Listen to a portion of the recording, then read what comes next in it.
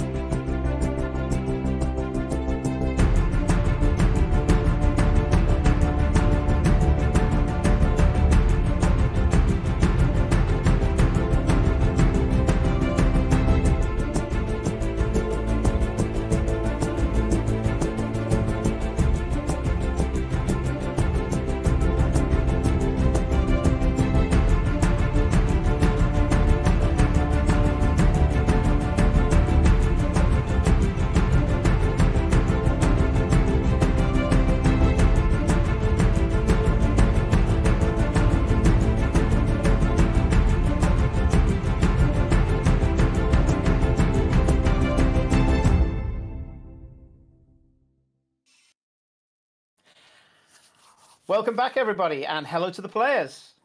Hello. Hello. Hello, hello. Hello. Right, after my little longer intro, I'm going to make sure they don't get progressively longer, I promise. But uh, I did want to uh, pad out a few thoughts and uh, and give that plug to Dragon Meet. So, you currently are taking the shortest of short rests. I'll explain that in a second. In the oh, I just kicked my mic. Sorry, Kate.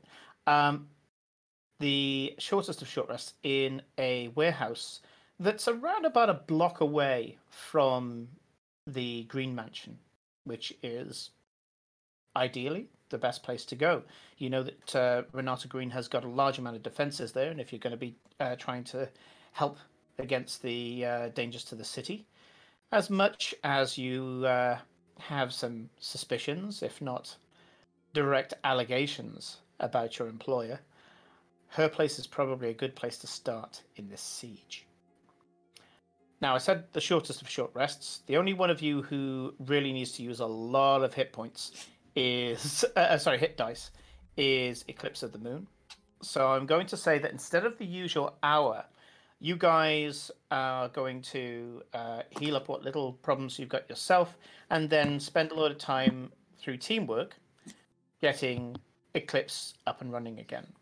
And so I'm going to say this probably only takes about 15 minutes. During Resting with 15 teamwork. hmm Um, during the uh, well, it's more it's more team first aid as they're patching you up from all of the crap that happened to you. Although saying that, there's not a huge amount of damage on you because most of the damage you took was actually through your link. Uh, but yeah, they so do it's it's just like group therapy for like 15 minutes and then they're not did there. actually have a very long and boring lecture about the dangers of hiding from your teammates. When when you're being damaged, yeah. Okay, Yeah, so after Oh, after a 15 minute TED talk from Farewell. Uh, this is my I love the talk. smile from Nick that was like, damn straight, I'm giving her that chat.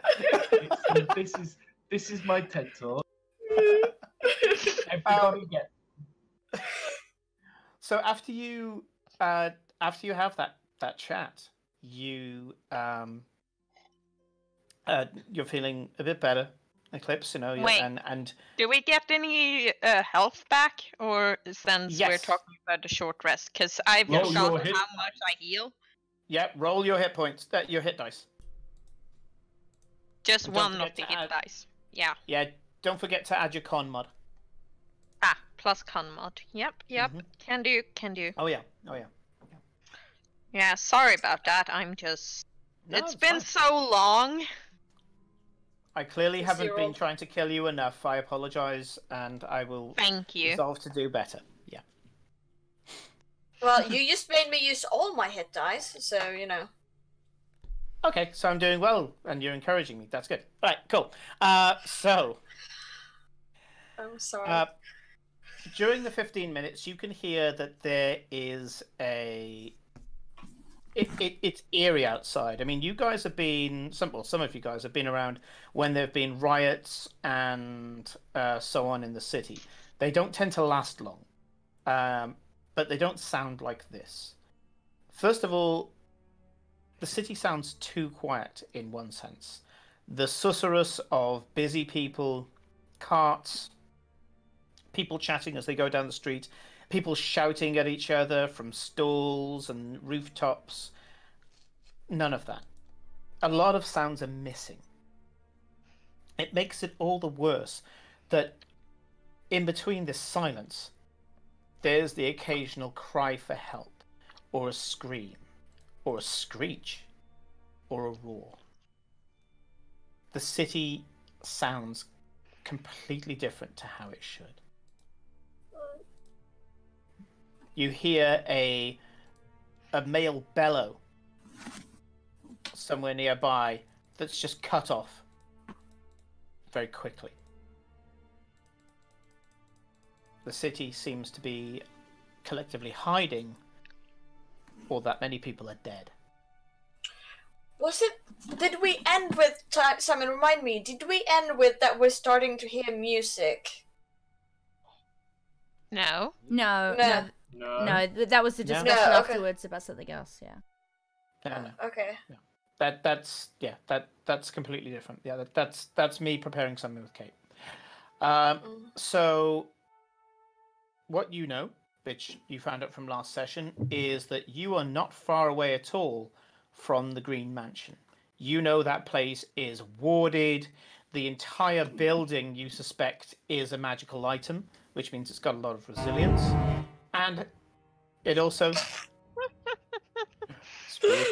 Apologies. Sorry, I clicked a button that just sent it the sound really high. Ominous. It came at just the right creepy. point as I well. know.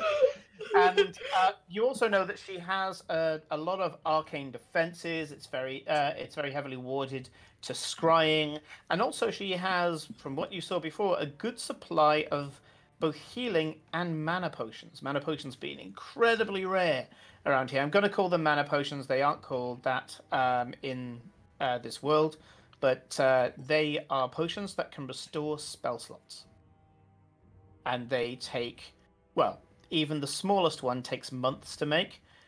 Anything above that takes years to make. It is not something that any player character can arguably do.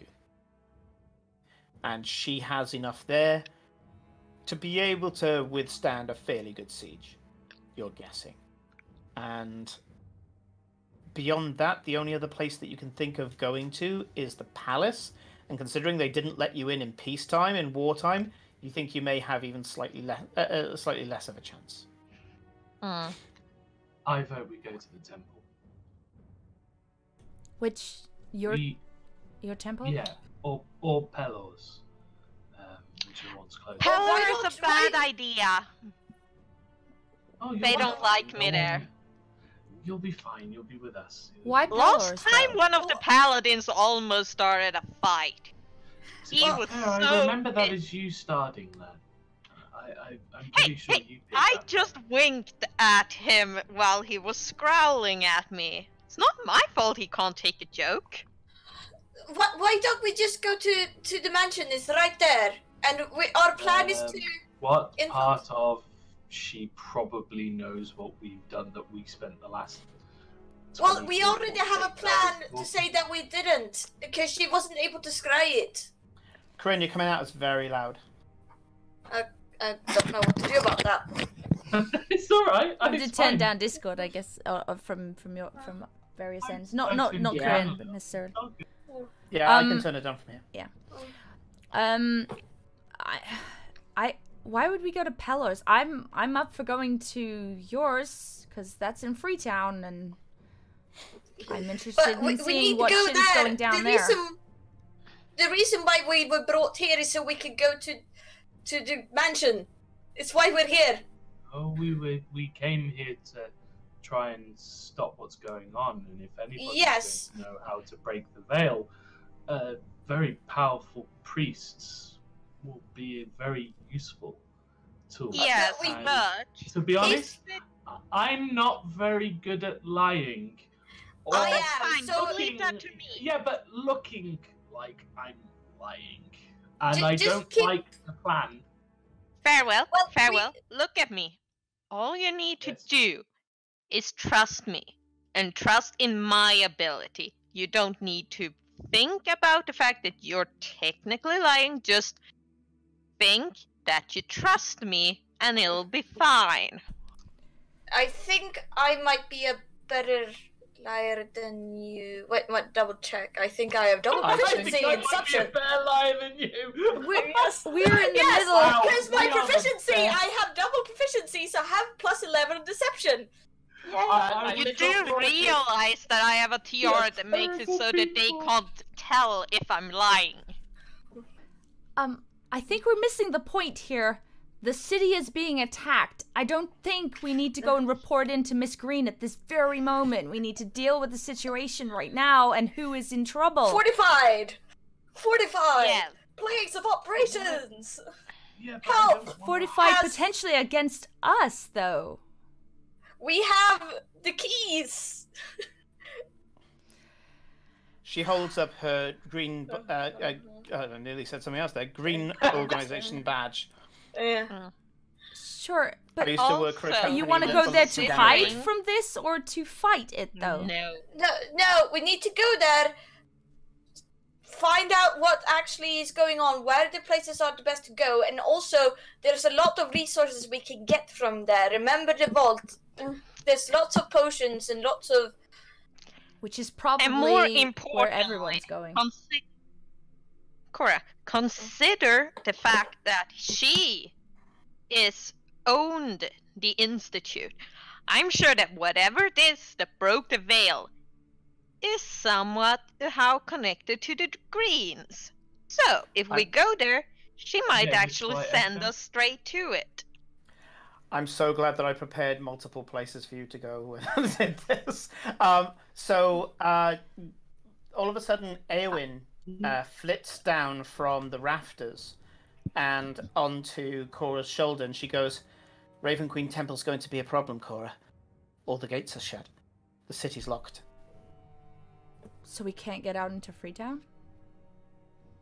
That's the thing, is that from what I can tell from here, the smoke and and other things, this city's being sieged from the inside out." That sounds about right. That's what I was expecting. Well, maybe that means they're safer. Um, I relay this to everyone. I don't know if Eowyn said just said that to my head. If she did, I will relay uh, stuff. Um, uh, I will actually um, ask Eowyn to kind of uh, he- head out and kind of um, get get a get a bird's eye view and try and give us an idea of um, of the lay of the land a bit and what's going on and where the the hot spots look like they are and stuff. Just sort of flit up there while we're kind of resting. I I'll probably do that actually because uh, I'm I'm kind of anxious Okay, to get out uh, and see. So yeah, she yeah, she would have yeah, been I can- doing I- a bit of that.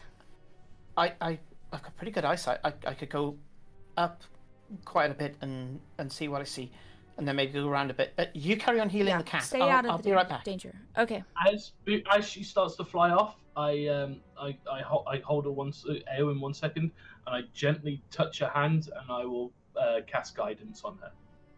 Coolios. She gives she gives you a wink, and with a kind of Tinkerbellish crossing of her legs, she flies up um, uh, and out of what seems to be just a, a broken panel um, up in the eaves.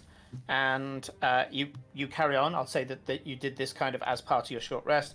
Fifteen minutes finishes. Eowyn comes back down, and she goes, "Okay, um, there's these nasty bird things. I, I well, they're kind of in- insects, and they're insects with like human bodies. I, I, oh, uh, there's lots of things about. Uh, so there's these big things with like tusks, and that they kind of like um.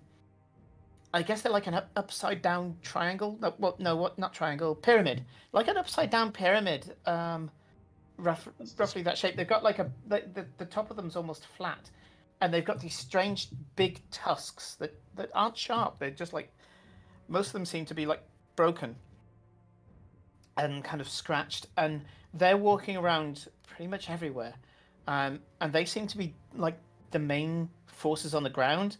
I'd say there's these insect kind of people who are on, the rooftops, and and they're trying to get into the buildings, and then. Uh, then the, there's other mixed ones that I saw from afar, but you know they were kind of a little bit here and a little bit there. The main two are those two. Um, okay, so uh, Pelor, I, I looked at the Pelor temple. Uh, they barricaded it. It's looking pretty rough. Most of the windows are broken. Um, I saw like these um, these these creatures, uh, like the the bugmen. They were there. They were trying to get in from the top, and then there was these other creatures. Uh, these kind of large kind of creatures, like um, do you know what a gorilla is? I don't It's know like- if Cora like does, real- but let's say she does. She probably doesn't, knowing her background. Sure. She goes, "It's like a, re- it's like a probably really big monkey. It's like, it's like a monkey that's gone like uh, training at the Kord Temple. It's really big, and the, the, the, these were like those. Only they had big tusks and red eyes, and and and they they had this horrible smell as well. And they're trying, they're trying to climb into the, the Pelor temple, and there's a lot of people in there, but the paladins and the and the priests and and that uh, and there's an angel there as well. It's really cool. I've never seen an angel like that before, and and, and it, it's going around, it's hitting them and all the rest of it, but the it, it's not killing them as fast as I I'd like an angel to kill things. It has a big sword, and it's still not killing them that well. Anyway, um, there's there's a lot of fire and smoke coming from the Liberty Quarter, and a lot of the buildings have fallen down, um, and so it's it's this big. It, it's just like a big pile of rubble. I mean, the Liberty Quarter didn't look all that good before, but now it looks like this giant trash heap. Um, and uh, uh, there, I did see soldiers. So soldiers are going around in groups, um, but they're running a lot as well. Okay. Uh, she said that basically to everyone, by the way, because if she started to do it just to me, I would have told her to um, Told her tell to everybody. to yeah, all this stuff. Um, okay, well, that gives us a bit more information. Should we I don't try think we and can get out the city, Cora.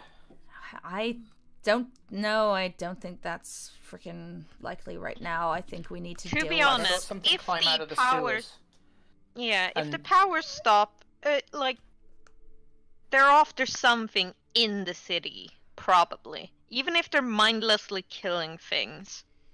So, I don't think Freetown will be the biggest target right now. No, It's probably we- around here. It's probably the mansion itself. I don't know. It'll be something. Yeah, clearly Mm. we know the city has been the ones breaking this veil and pissing off the architect. Is that their name? Um, and uh, I don't think it's Oh, no. pissing the architect off. He will want whatever it is they're doing. yeah, he he wants to learn and and you know yeah break break it more probably. So he wants to know how they did it. I expect it's something like that. I don't know. Um, okay, so it sounds like Pelor's temple is under siege. Why do you think it's a good place to go, Farewell? Because there's a shit ton of paladins there, Oh, and they're demons. okay. And, and nothing says like killing demons like divine smiting. Well, Yeah. they, But they, they, They will probably don't need our not- help then. They probably No. don't Sounds- We might need it theirs. Sounds like they they need our help. If if it's all smashed in, and they're even crawling then, in, if and they we help them, if they have won't summoned have the an extra planar ally, they're in trouble, and there's people there, innocent people. Yes. Yes, but what But I'm saying is, even if we help them and Fuck the we kill stores. I don't give a is shit about getting faster. more spells. I care more about people. No, source. We need to stop this at the source, uh, Farewell. Oh, sorry, Uh, uh, accent. I apologize. Yes. We need to stop this at the source. I don't think the Pelor Temple is the source of where, where what the demons want to get to, or where we need to go. And even if we help them, we will only stall it out as more demons come from the source. They can hold their own. You said it yourself. There's nothing like Pelor thingies killing demons for some reason. Eowyn, you said you saw something coming out of the sewers. Was it more of these? Does it look like maybe that's where they're starting out? It looked like that pink stuff. What, it's just oozing out of the Okay. sewers? Uh, yeah, but it, it, it wasn't like it wasn't like it was spilling out like the sewers were overflowing. It kind of slopped its way out of the sewers, touched a dead body, and transformed into something that looked like the de- the dead body. Oh, I don't think that your usual tunnels going through the city walls will be safe. I think you'd be going up against those. Right. Oh, great. So basically, they're also turning dead into freaking things to attack. I think we need to make a move. No, no, the How- dead the dead body the dead body stayed the same. It just copied the image. Although it's really Oh. stupid because it it also it also copied the wound. So the guy just walked off with this great big gaping wound in his chest. It's not going to be a very good disguise. I think the user's kind of dumb. Oh, okay. Well, that's useful to know that we hopefully aren't going to come across. I don't. Yeah. Well, I guess we don't know who we can trust if they can imitate like that. Um, how are you feeling, Eclipse? Are you feeling better? I think so. By the I way, have- I am sorry. I underestimated my Oh. own power with that last hit. That uh, and then you you disappeared, and so so sorry. It's it's alright. It wasn't really you were you were trying to kill the other guy, Well, I succeeded. So yay! and I didn't die. You It's didn't been a die. good day. Yep. So Now, far, so let's good. Go. You have Let's go. no idea how close you came. Okay, well, let's not have a close call again. Let's maybe sneak our way out as much as possible. And, uh, Uh, we can maybe take to the air with the. oh, we have the magic carpet. Yes. Did didn't anyone say that there was giant bug birds? She said that, oh, yeah, wait, are they flying or they just look like birds? Oh yeah, yeah. They they uh, They're flying. they they. Well, no, no, they're not birds. They they look like kind of flies, I guess, Oh. like oh. midges. Ew. Yeah, But Yeah, they they're- fly? they're kind of gross. They do fly, though? Yeah. Oh, yeah. Oh, they they fly. That they're trying to get in through the roofs. So uh, there are people who are going up high to try and um to try and get away from the th- the big things that's on the floor. And when they do that, the these other ones come and they and they get them. I I still think uh, that the eclipse is right. Maybe the carpet's still a good idea. That we start on the carpet, but but fly lowish through the streets, so we can stay together without. Like I'm slow when I run. I don't want to slow everyone down. If we stay on the carpet for as long as we can, mm, and we that will be sneakier too, because we won't have to clump clump clump. Do you think? What do you think? Uh, yes. Is the pillar The carpet is faster than all of us, so Exactly. Um, uh, Simon, where's the Pelor Temple in comparison to the gr- the um the mansion? And and in This is comparison to us? where I would. This is ordinarily Where where I the bring up a map of the city, but I don't have one. I haven't loaded that one in. we don't have. Oh I yeah, haven't- see, I did. I haven't loaded that into the new um, roll twenty thing because I thought you were just walking out into the street. Yeah, fool. Yeah, okay. fool. Well, we, as I said, we Um, don't need to worry about the Pelor Temple anyway because it's not relevant. Yeah, hang on a sec. It's it's a uh, easy yes, thing for me but it that, Hang that on a will only delay it. It won't do anything. Yeah, but if characters Right. want to go we are people, only a group of four, we're a group of four people, and our job is to stop it at the source. Let the guards take care of the other people. Right, let's bring up the map here. I can check that in quickly. Uh, let's see, Illyria. and you question the glorious family's ways. Okay, this is an unmarked map, Uh, but yes. I can I can I can do this. Like, Yeah. okay, I've just thrown this onto roll twenty, so I apologize in advance. Um, so if I put you onto this one here, ye, and if I grab Oh, hold lovely. of- So yeah, th- this is none of the markings. This is just the basic one, and uh, I'll just bring up a a marker. Uh, right. Okay.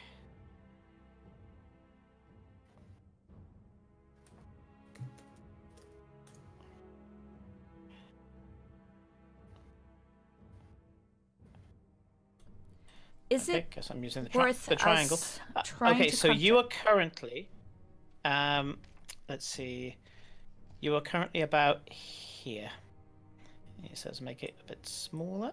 You're you're about there at the moment, and if I copy that, the Pelor Temple is this big bugger over here.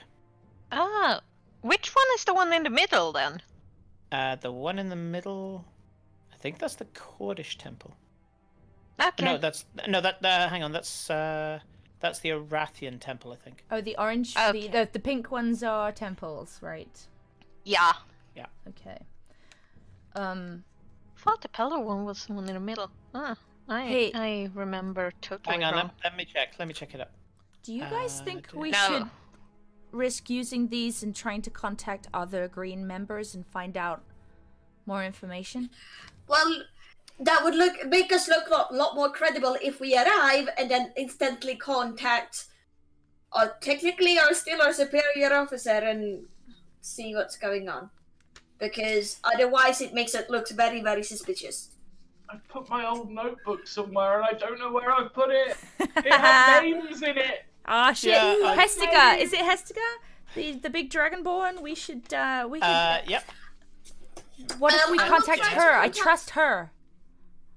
Well, we need to contact Renata regardless, because otherwise we will be in.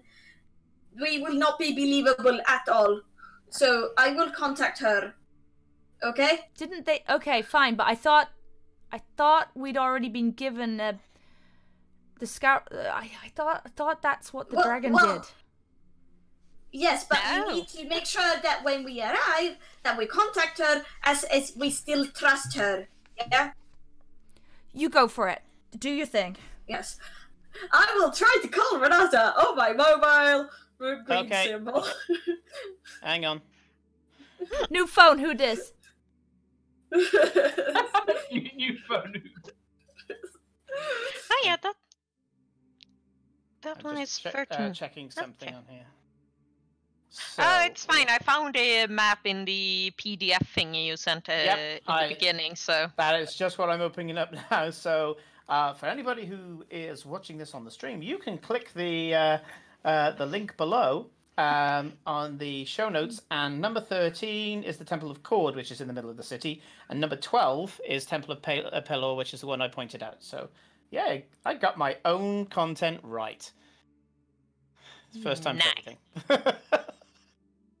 so yes, uh, right. So if I put the uh, big triangle there, so the big triangle is the Temple of Pelor, which is this giant cathedral.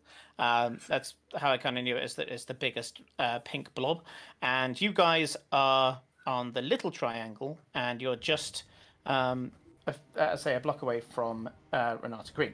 So, Mm. whilst you guys were arguing, debating, whatever, um, I missed a cue. Okay, so at the end of your short rest and before um, Eclipse gets a chance to contact Renata Green, you hear something through your badges as part of what I can only describe as radio chatter.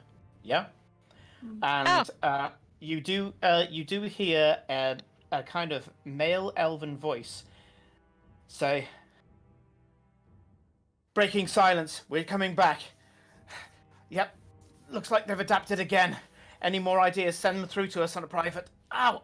Ah, one of them got me. I should be all right. And oh cuts no. off again. well, I don't really know what that means, so I will try to contact Renata, but it might not work because it's breaking radio silence or something like that. Okay.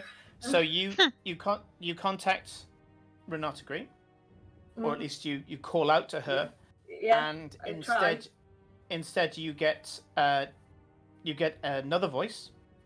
Um, Voicemail. this time a oh um you've met this person before. They are a warforged um, that uh, uh, that works for Renata Green.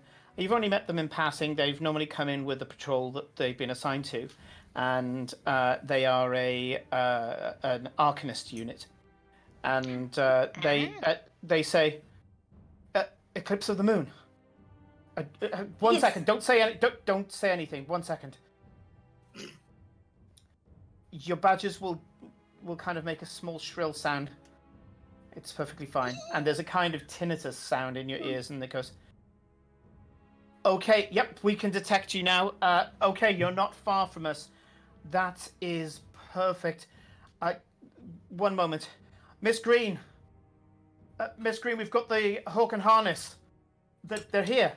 Uh, they found their way into the city somehow. Uh, okay, uh, right, so, yes, they're, they're nearby, miss. Uh, let, uh, yeah, I, I've literally just heard from them now. They they've been put onto a onto a secure channel. Okay, eclipse of the moon. How many of you are there? Is everyone alive? Uh, there, there's four. Um, yeah, yes, we are alive. Um, Four. There's uh, supposed to be four- five of uh, you. Yes, uh, Adrian, uh, Adrian, Aiden, uh, Aiden, I, Aiden Canale, he's gone. He, he, it's a long story, but he's not here. But he's, He's somewhere alive. else. That's all you need to say. Okay. Uh, Yeah. uh, please, Uh. brief, com- uh, brief communications, please. Okay. Uh, Mhm. right. Uh, are you able to get to us? Yes. Okay. I we lost so. contact. We lost contact with you after you went uh, to uh, uh, uh, Bernsford. So okay, let's let's get you in here. So at the Long moment, story. uh, yeah, Mm, we mm. I we really don't have time yet to hear for it now. Mhm. If we get through the night, then maybe you can regale us. Uh, so what we need from you guys at the moment is on your way here, mix it up. Different tactics as you go along. They learn and they adapt, and they don't just adapt as in a single unit adapts. The shovelers will, when they start adapting, they teach the other shovelers. Okay, so that's the biggest problem. They're just going through the city at the moment, and they're just picking up everything they can that's organic. Um, uh, they don't seem to have any major interest in plants, although we have seen one or two being taken. But they will definitely try to get you. Okay, uh, they are going to be out to try to kill you and eat you. So if you're out the way, they'll try to bring you down to their level so they can kill you and eat you. Don't go into the air. If you go into the air, the chasms will come. At least we think they're chasms. Um, the uh, the the whatever uh, has sent them seems to have molded them. This is a really devious uh, foe that we have here. Renata has been uh, resisting the uh, whatever it is um, for the longest time, and she's currently here with the Duke. Make your way over here, and if you can, try to get it so they're not detected. That would be fantastic. If you have to fight them, as I say, mix it up, be unpredictable. Um, we keep changing tactics for our squads, but there's only so many things we can tell them to do. It's not as if they're creative like our specialists. We've got another team of specialists, guys. Oh god, and you can just hear this kind of tinny voice uh, um, speaking to people who you can't hear. Right. Uh, I, I have harness are on can their I have way. it on speaker? it's like a You speaker can all, mode. you can all hear it if, if you tell them to yeah, listen in. The, that's going to Yeah, too. yeah, yeah. Okay, Hawk and Harness are on their way, and nothing else. Well, it seems like they don't suspect a thing, which is good. Yes. Who knows? But we've got bigger fish to fry, so let's deal with one thing at a time. Uh, okay, so we got to mix it up. And I, I um, grab, I start taking my crossbow off my back, having not used it in a long time. Uh, well, to be fair, it's not much they can do. Like, like sure, my stick is stabbing people, but stabbing people is almost always gonna work. So I'm not sure why. Yeah, but using that, and I'm pointing at your lash knife, as like using that or doing a s the same sort of things, is they know how to deal with it. Like I can't just use this blast every time. They like the the thing that we fought just now. It it learned. It it didn't take damage from it. I need Well, to it try other things. Oh, yeah. Yes.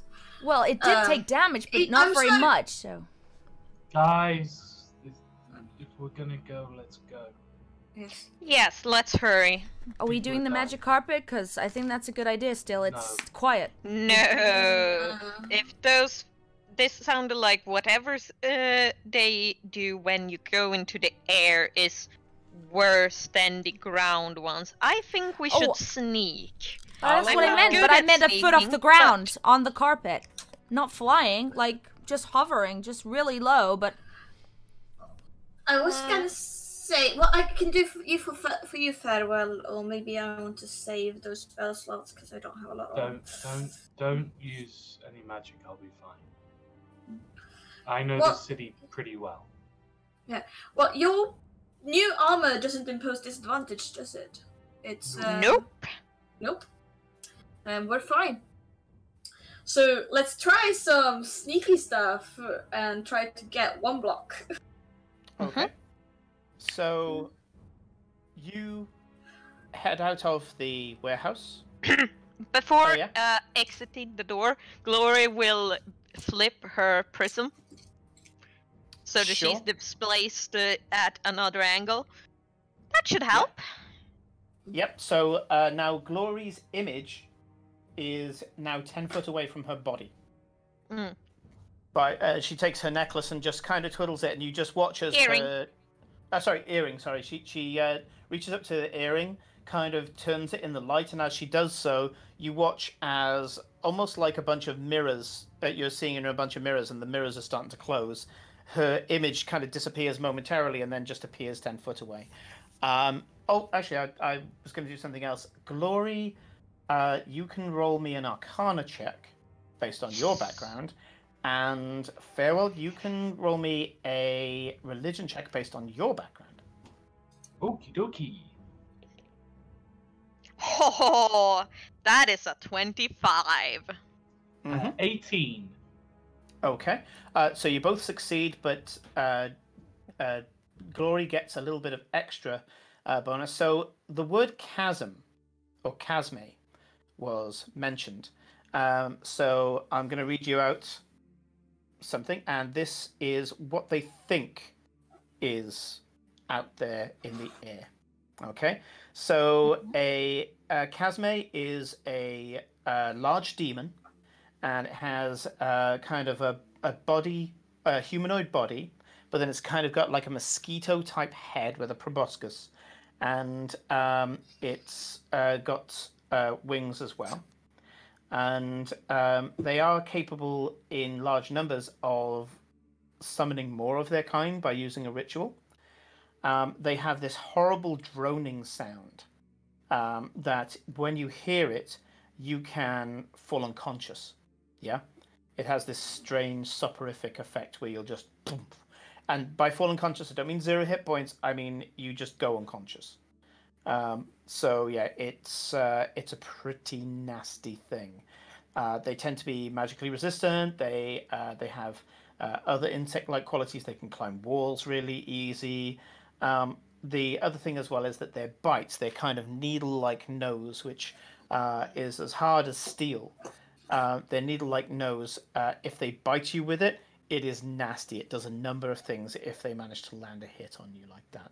Um, yeah, they are not not good. They're actually better in the air than they are on the ground.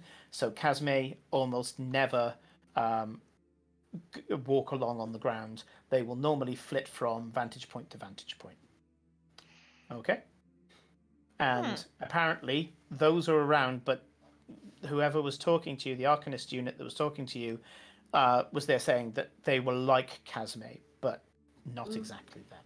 Okay, so Yeah. So don't go rushing to the monster manual. Uh, the um, so yeah, uh, that's that. So Glory uh, twiddles her earring and displaces her image. The rest of you guys, are you putting the carpet out so that you can have an option of going high if you want to? You can just have it hover a foot across the floor. I think it will move faster than us anyway, so yeah, hovering is probably a good idea. Yeah, that, I mean, it depends. pretty Well, can we stealth with it? Surely we can I would better. say because you don't have any footfalls, I would say as a group, I will allow you a group stealth check of directing the carpet um, a- Mm. along areas, and because it moves so fast as well, you hear something coming, you kind of try, uh, you can kind of try to duck around corners, or because you can use height to your advantage, you can kind of make it go above low buildings or hop over low buildings or into trees and things. So I would say, as a group, if you want to do like a, a group carpet check, yeah, I'll, I'll allow you kind of stealth tactics. I That would sounds like be- a plan. That would be kind of a cool After matchup. all- Yeah. Okay. Yeah, and in the that case, carpet will- doesn't make sounds the same way us walking on the ground does. So Okay. that is Cool. I will then unstrap the carpet from my back and flop it on the floor and unroll. Okay. Because because Farrell's the eternal. Yeah, he's the only one Carpet with strength high enough to pack mule for you lot. Yep. As the Swedish should say, you're the Bob dude. Right. yes. the, det bära och betala. mm, paying carry. Uh, I, I, so- I, was gonna say, I don't know whether or not I should be off- offended there, so I'll just smile and nod. probably, but anyway. Uh, so uh, let's get you to the next challenge, shall we? And seeing, it- seeing as you are going to be doing this as stealth, we'll still use the map. Okay. Oh, Um, but you are now on a carpet, which I will provide in a sec. Oh, it's dear. not the first time you've done a carpet. I see dead bodies. Zoom out, and I see ew. Very ew. Okay, before I forget, uh, this map was provided by uh, our Patreon account in. Um, oh, I'm trying to remember how big this bloody carpet is now. Uh, our Patreon account in uh, Neutral Party. five. So, if you, yeah, I- I've got, I've got it as a three by three, but uh, if you need to make it bigger, then you can. Um, so uh, there we go. Oh god, yeah, it needs to be much bigger, doesn't it? Okay. Uh, About that. Yeah. and send to back. There we go. Right, you're on a carpet. Um, so, wow, that's that's actually quite huge. Uh, I'm, I'm sure it's not I've- that big, but we'll keep I've it. got I've it's got fine. Brave New World going through my head, and we've only been playing for 20 minutes. Yeah. Um, what was I going to say? Oh yes. So uh, yes, go uh, go check out Neutral Party. Um, you can go to Twitter and uh, go to at Neutral uh, Party Art, or you can go to Patreon, look up Neutral Party. Uh, they will have lots of free maps there for DMs. Uh, but if you're a patron, you get even better maps, and they do uh, something really cool with them as well. Actually, they do them both in day and night, gridded and gridless. So uh, yeah, for just if you don't want to have to put all your maps together like I try to do with the epic maps, um, like for example the carpet that I've just pulled up there comes from uh, David Hemingway on Roll Twenty. Look him up; he's brilliant. His stuff is kind of like a, i- if you like putting together doll's house style maps, and I really do when I have the time. Uh, he is brilliant. But if you just want a map that you can just throw down there, Neutral Party is my go-to. So uh, yeah, you can take a look at pretty much everything that's here at the moment, and I'll talk through it all. Uh, so I've put Umber Hulks out for the uh, for the shovelers, as they've been called. There's a lot of dead people um, around the place, and as you approach down one particular alleyway, stealthing your way as you go, I'll get uh, rolls off you all in a minute. I yeah how am i going to how am i to do this? Yeah so you're going through a mixture of taller buildings and shorter buildings and for the most part you've managed to keep yourself nicely stealth for most of the way. I was going to uh, get you to do some rolls that i'm not going to get you to roll. I'll get you all to roll stealth in a sec. As you come into this place here this is kind of like a cafe quarter around here. Um, very beautiful um, a well-to-do part of the city and uh, you guys have been here yourself. You you know some of the places around here, um, and you start to see as you bank your carpet down a side alley. You can see these large creatures. So to describe these creatures, these creatures have a hard carapace. They have the carapace is kind of pitted, so it looks like bone. First of all, it looks like uh, sun bronzed bone. Um, slight tortoise shell kind of coloring to it, but as I say, has that kind of uh, texture to it that is reminiscent of skeletons. Um, it has two large bug-like eyes um, either side that seem to be quite hard as well, and you can see that it doesn't have eyelids or anything like that. It just seems to be these heavy-set eyes. And as Eowyn already pointed out, their body is roughly uh, a pyramid shape, like an inverted pyramid shape, out of which come these two large legs. These creatures don't have arms, but what they do have at the front is this very large, wide jaw with these two kind of. Uh, they're not even sharp, they're kind of these dull tusks, yeah? Um, but be, the way you look at them, you don't think, oh, they're dull, they're not dangerous. They're dull like a hippopotamus's teeth are dull and about as dangerous. Yeah? The body of these creatures are quite large, so they are large creatures. Um, and they seem to be just these walking pods with these giant mouths. And you notice that the mouth, which is probably why they call them shovelers, is flat underneath in cross section.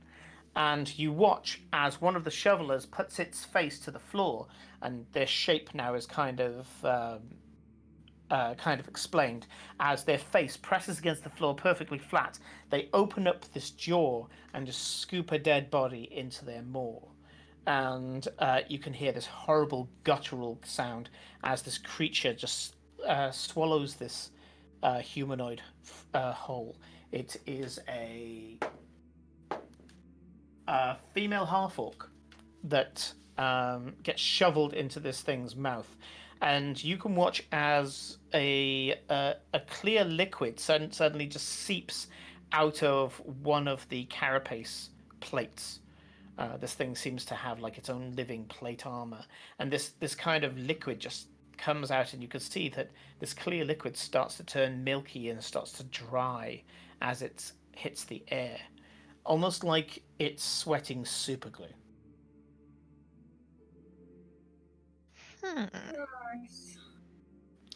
They currently haven't seen you. They seem to be the way they seem to be walking around. They don't seem to be the most intelligent of creatures they seem to be like well if it wasn't for the fact he just scooped up a dead body they kind of almost have a cattle like demeanor to them but very clearly Right. demonic in nature so i'm going to ask you all for stealth checks but also what would you like to do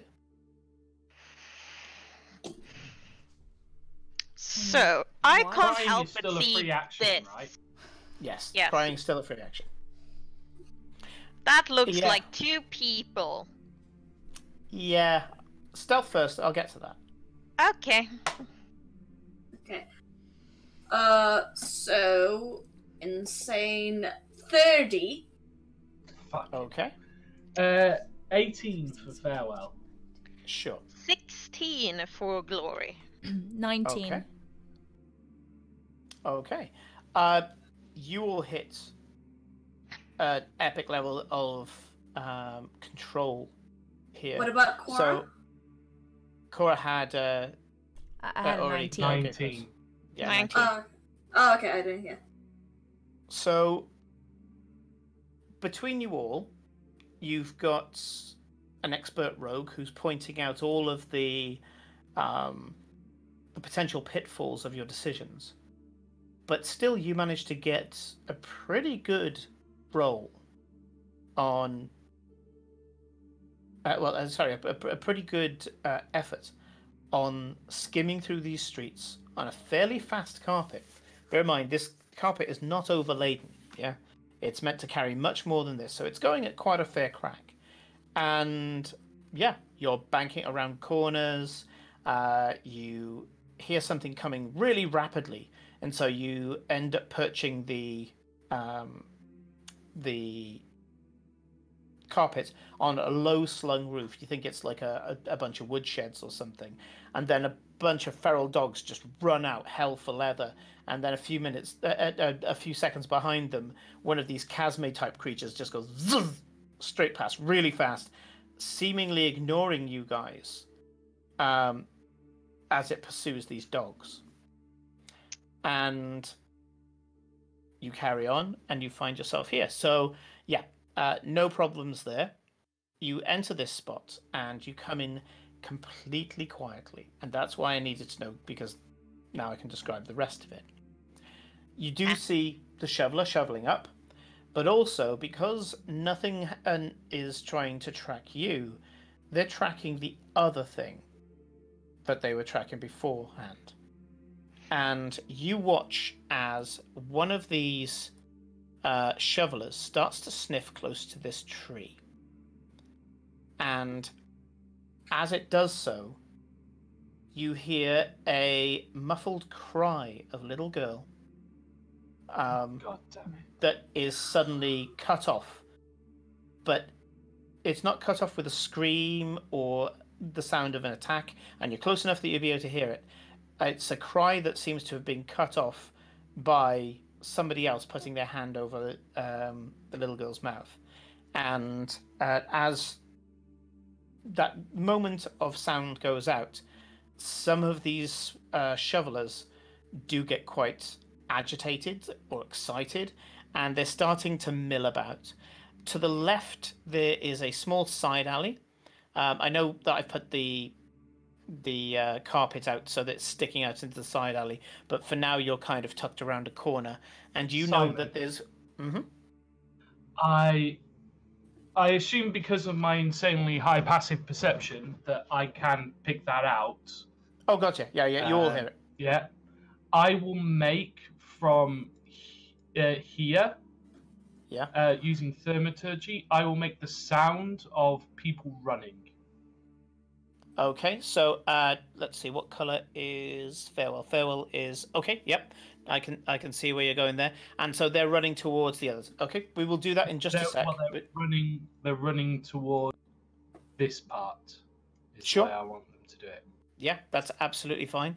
Um, I'll just finish the description, and then uh, you absolutely can throw that in.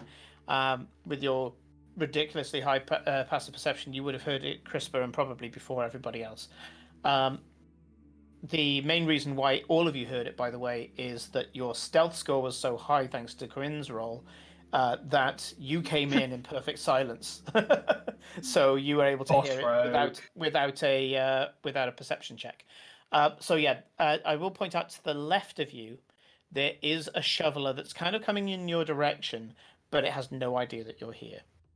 Farewell throws the thaumaturgy in of people running, which I think is still within the uh, realms of thaumaturgy, and uh, there's some definite excitement. And in the confusion, uh, I'm going to roll a couple of intelligence checks. They are not known for their intelligence. Yeah, dumb as a bag of bricks. Uh, they all turn around to where the running is, even the one where the running seems to be going towards it. And the Yeah. You watch as the uh, Mama made them big, not smart. Uh, the shovelers go past. So the only one I'm going to give as a uh, as a potential danger is the one that I'm highlighting at the moment near the tree. That shoveler, because of its size, is going to try to shifty between the tree and the uh, and the house. Okay, and from what you can tell, the uh, the the people who are in that tree, you can't see them at the moment, but you detected them from where the sound is. They must be in the foliage of the tree itself. They're not right on top, because anybody who's climbed a tree will know you can't get to the very top branches. You can't sit on top of the canopy. Uh, so they are somewhere in the middle. Okay. And what I'm going to do is I'm going to do a fear check on Oh. the uh, the the two people inside. Um, the girl does it with advantage, but uh, the guy doesn't. So the guy gets. Okay, no, that's good. The guy passes. Uh, advantage on the girl because he's holding her. fail. Yeah, he's holding her tight, so she gets advantage. And natural 16 on the dice. She passes as well. Uh, so you watch as the tree shakes, and not that you guys see it, but I will tell the pl- uh, not, uh, not that your characters see it, but I will tell the players is that when that tree shook, he hold he held onto her for dear life, and she she basically just cried quietly into his hand. Um, and so yeah, uh, that goes past, and uh, the this one here that's up by the well moves forward. The remaining three mull around in their current area. They don't. T- Uh, they didn't hear the thaumaturgy, uh, but they they weren't going for the tree either. They were just too far away. So I, I I lean forward and I, I, I whisper to Eclipse and I go, um, "Do you think you can get them out of the tree?" maybe. For Um, Eclipse's uh, point of view, you can, at the moment, jump from the carpet to the nearest set of roofs. So Oh, if yeah, you so want to do the jump rope thing and, them. and do the uh, the roof runner Oh. thing, now is your Yeah. time to shine. stupid Yes. I will keep my stealthing and I will run over here to where they are. okay, uh, stealth, on a stealth, stealth, stealth. because because that's what all rogues do is, is shout stealth, stealth, stealth, stealth. Um, Yes. Okay, so Parkour. I'm gonna let your I'm gonna let your 30 stealth uh, roll on, yeah. Mm. But the only time when that 30 doesn't apply, so you jump from rooftop to rooftop, you've got a climb speed as a tabaxi. This is your thing, okay? So you get across both roofs, no problems at all. I'm not even gonna ask for a roll. However, Mhm. jumping into the tree is something different. So, uh, uh, but yeah, still I'm- within I kitty limits. Okay, so Yeah. I'm gonna give No, you. So I'm, I'm not necessarily jumping into a tree at the moment. I am. Okay. Uh, so using my mage hand, I will essentially make it because normally it's invisible, but I will make it visible for them and kind of wave in their hand and kind of point towards my direction so they can see where I am. Okay, where are you putting the mage hand? Because In front of- can't see. I don't think you can see them at the moment. Give me a perception check. Well, I I'm right next to the tree. I'm right yeah, here. he, he told you that the tr- uh, that they were in the Uh. tree. These people have deliberately hid themselves inside the tree, and I've already written. Uh, I've already uh, uh, rolled their stealth check. So uh, go for it. Give me a perception check. Uh, perception. I think that is a eighteen. Okay. So you can see, not clearly, but you can see a mass in the tree that is either the world's biggest bird nest or it's the people that Farewell was referring to. Yes. Well, I will guess it's not the world's biggest bird nest, and then um, ha- I said have my mage hand wave like in like not completely in their faces, but just a little way off, and then like point to where I am. Okay. Uh, you do see the top of the giant bird's nest uh, turn in your direction, but there's no response. They don't communicate with you in any way. Smart. um, um, see how, how do I get these people? Let me say what I was going to say before. Um, if you want to, Uh, let me say what I was going to say before. If you do want to jump into the tree, it will require a certain amount of finesse. If you pass the check, you'll retain your 30 stealth. And because it is within kitty limits for you to do so, because cats jump into trees, I will allow you either an acrobatics or athletics check with advantage to in order to do so. Okay. Uh, sure. I will jump into what? What were you gonna? What was the crew crew about? I didn't hear it. Don't don't you have the message cantrip? No, I. I, thought you do. did. I could have sworn you used it. Let me check. Um, Are Or we spell is message a spell? or is it No. cantrip? no, I have friends, mage hand, and minor illusion. Oh. Um, Simon, are we Um, trying to get to the north part of this map essentially? Is like, do we Okay, know yeah, where we're that's trying the to other part go? of this map. So I've placed another one of those triangular markers. If you go to the top of the uh, the the, map, top. Kate, Yeah. uh, there's a big red arrow pointing to the uh, the road that you need to take to go to uh, the Green Mansion. Yeah. um, but yes, I will jump in the tree then. Okay. Give me uh, either an athletics or an acrobatics check with advantage. Well, you have a good acrobatics. Uh, that's dex based, if I remember correctly. Yes, and I am Right. proficient in it, so that Yeah. it should be Because jumping isn't roll, really the challenge here. I rolled double twelves, but plus nine, so twenty-one. 21 yeah. So you you do something that's worthy of film uh corinne in that uh you leap and as you do so you you narrow your body in a way that only a cat can. You stretch your full length and you go through the foliage like an arrow. Um, once you're in the foliage and, and, and literally you make no more sound than the wind currently is doing with this foliage or a bird flying past. Certainly not enough to uh, to um, highlight your presence to the shovelers as they're going off to farewells, uh, which I think farewell can sustain. He, I- I think every turn he can just carry on doing it if he wishes. As cantrip. Yeah. You're muted, dude. You're muted, Uh, Nick. Duration up to one minute Yeah. for Tomato. Er, Yeah, I was about to say I will do it as often as I need to. Yeah. cool. yeah. So you're you're going to be uh, putting them on a on a wild goose chase. That's cool. Um, yeah, if Farewell starts doing that, I will try and help since I also have thaumaturgy and basically make a sound uh, close by where Farewell is doing it, but not exactly where he is doing it, so that they will shuffle around, try to figure out, okay, where is it coming from? Okay, so they're trying to track multiple targets and they can't see them. I like this. I like this. I I, I put as the only thing about these creatures that you know that, that they have is that currently they're quite dumb. So uh, so for you, uh, Eclipse, you elongate your body and like an arrow, you shoot through the foliage, and as you go through the foliage, you twist around again as only a cat can. Uh, you twist around the, the front half of your body, find a suitable branch, and then just very gently put your hands on there, and you end up sloth-like underneath this branch, just skittering along the branch, getting to them. Uh, you can see that uh, quite clearly a blacksmith. He's wearing blacksmith uh, a blacksmith's vest, and he's got a couple of tools. He's got a pair of nasty-looking hammers on him.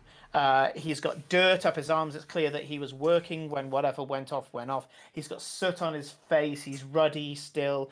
Uh, there's a smell of sweat on him that suggests that he uh, had been working for quite some time before all this kicked off. And he is holding this little girl to his chest. And look at, at at first he was looking daggers at you, and when he saw what you were, he's and more importantly he sees the symbol at your belt, and he puts his finger, his fingers trembling. He puts his finger to his mouth and points down at the shoveler below, um, and he's holding onto this little girl for dear life. Um, I will with helping with this um with what they uh, what they are doing for the the, the sound. I will also with minor illusion create just an image of a person over where the sound is coming from as well. Ho- hopefully Absolutely. making it. Yeah. Are the yeah, are the definitely. shovelers moving?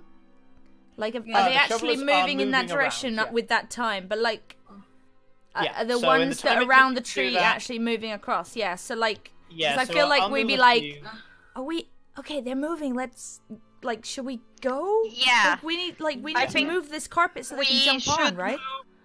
The uh, carpet somewhere here so At that least, they, here, as yeah. well as Eclipse, or well, Eclipse can help them stealthily jump onto the carpet so that we can just like swoosh away, you know? Yeah, Yeah, we're trying to get past. So if we can do what you're doing with the sound, and uh, I I can make uh, yeah, I, I can do minor illusion as well, so I can always do that. But I can't currently see anything. I put a pink woman with a bucket Yeah. down, um, Yeah. Yeah. and that's the illusion. Yeah, Yeah. uh, but I think in the meantime, we Like we definitely want to be uh, heading heading in this dire- direction as we see the sh- the shovelers f- that were here move. Yeah. Mm. Yeah. So yeah, I've made the illusion and the carpet movable by all players, by the way, so you can reposition yourselves um, and reposition the uh, the carpet as well. Okay, so you stealthily. We've picked up Uh, a dead move the horse at the same time. Uh, yeah, I'll, By I'll- I'll move, accident. I'll move the horse to the back. Yeah, uh, scoop up a dead horse. They're not eating that one today. All you need now is Merrick, and he can have a skeletal steed. Straight in the bag of Which, holding by the just way, everything, is not everything. an option for a necromancer. It Rage should be an option for a necromancer. You can make it an option for a necromancer. Well, I can, but I can't make it an option in the game that where I'm a player on Wednesday nights. I want to rock a dead horse. Uh, so uh, you skim your carpet while still making two sets of conflicting footprints and an illusion of a uh, uh, of, uh, of a uh, a villager. And the villagers kind of acting all scared, not making any noise, but the thaumaturgy is making noise, and they're really confused because the noise isn't uh, meshing up with the video. It's like one of our previous episodes, and you know, it's uh, sorry, too real. Uh, and uh, and it's just all over the place, and they're really, really confused right now. Um, and so you get up to the tree, and you are, uh, and I presume Eclipse, you are going to have to try to convince these two people to climb along a Mhm. branch and get onto the carpet, right? Or the Yeah. carpet's going to be underneath, and you have to convince them to drop onto the carpet. Um, yeah. so the carpet come, uh, comes out to them, and as that's happening, all of the shovelers, the the five shovelers that are, and I'll move them a little closer so that they're all checking out this woman with the bucket now. And- being very confused, being dumb as bricks. Really, really confused um, cow demons, and they're kind of there just looking at this thing and kind of watching as the footprints go underneath them, and they get really, really confused and really, really stressed, and all five of them just suddenly go, "Huh?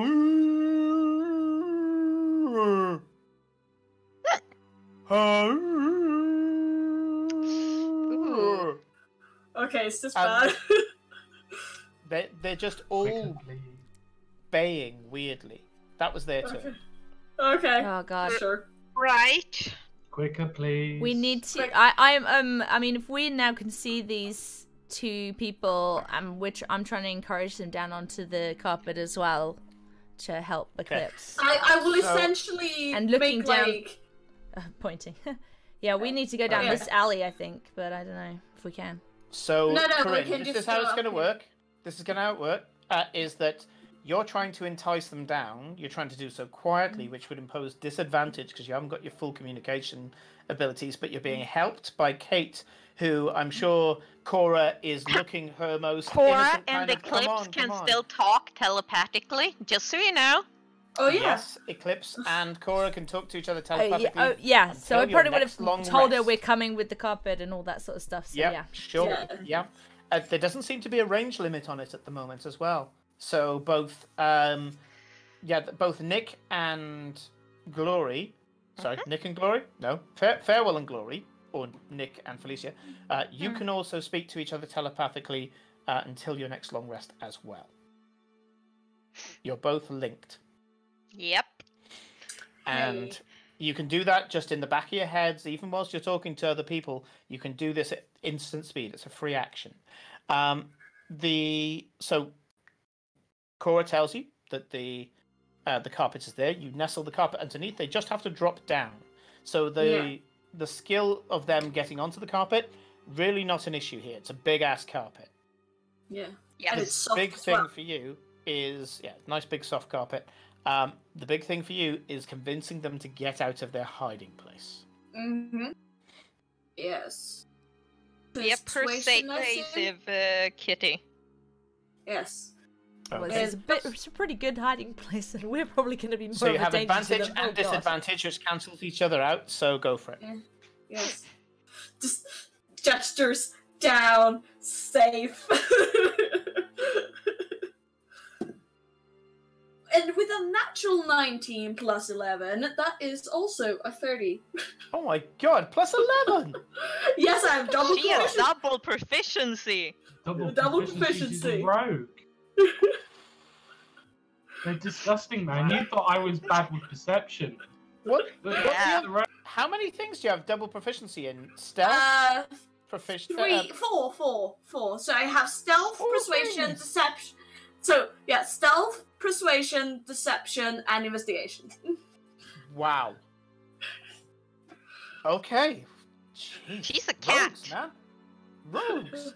Uh, okay, so yeah, you you go up and you. Uh, I'm gonna say that I- you. I do the can't puss, puss in boots thing. I was gonna say I, I- I'm pretty sure you've purred. So as you point down, you purr as if to say, "Hey, it's okay." And uh, the the girl kind of calms. She, you know, she, she's she's not. She's still scared, but she's less kind of tense.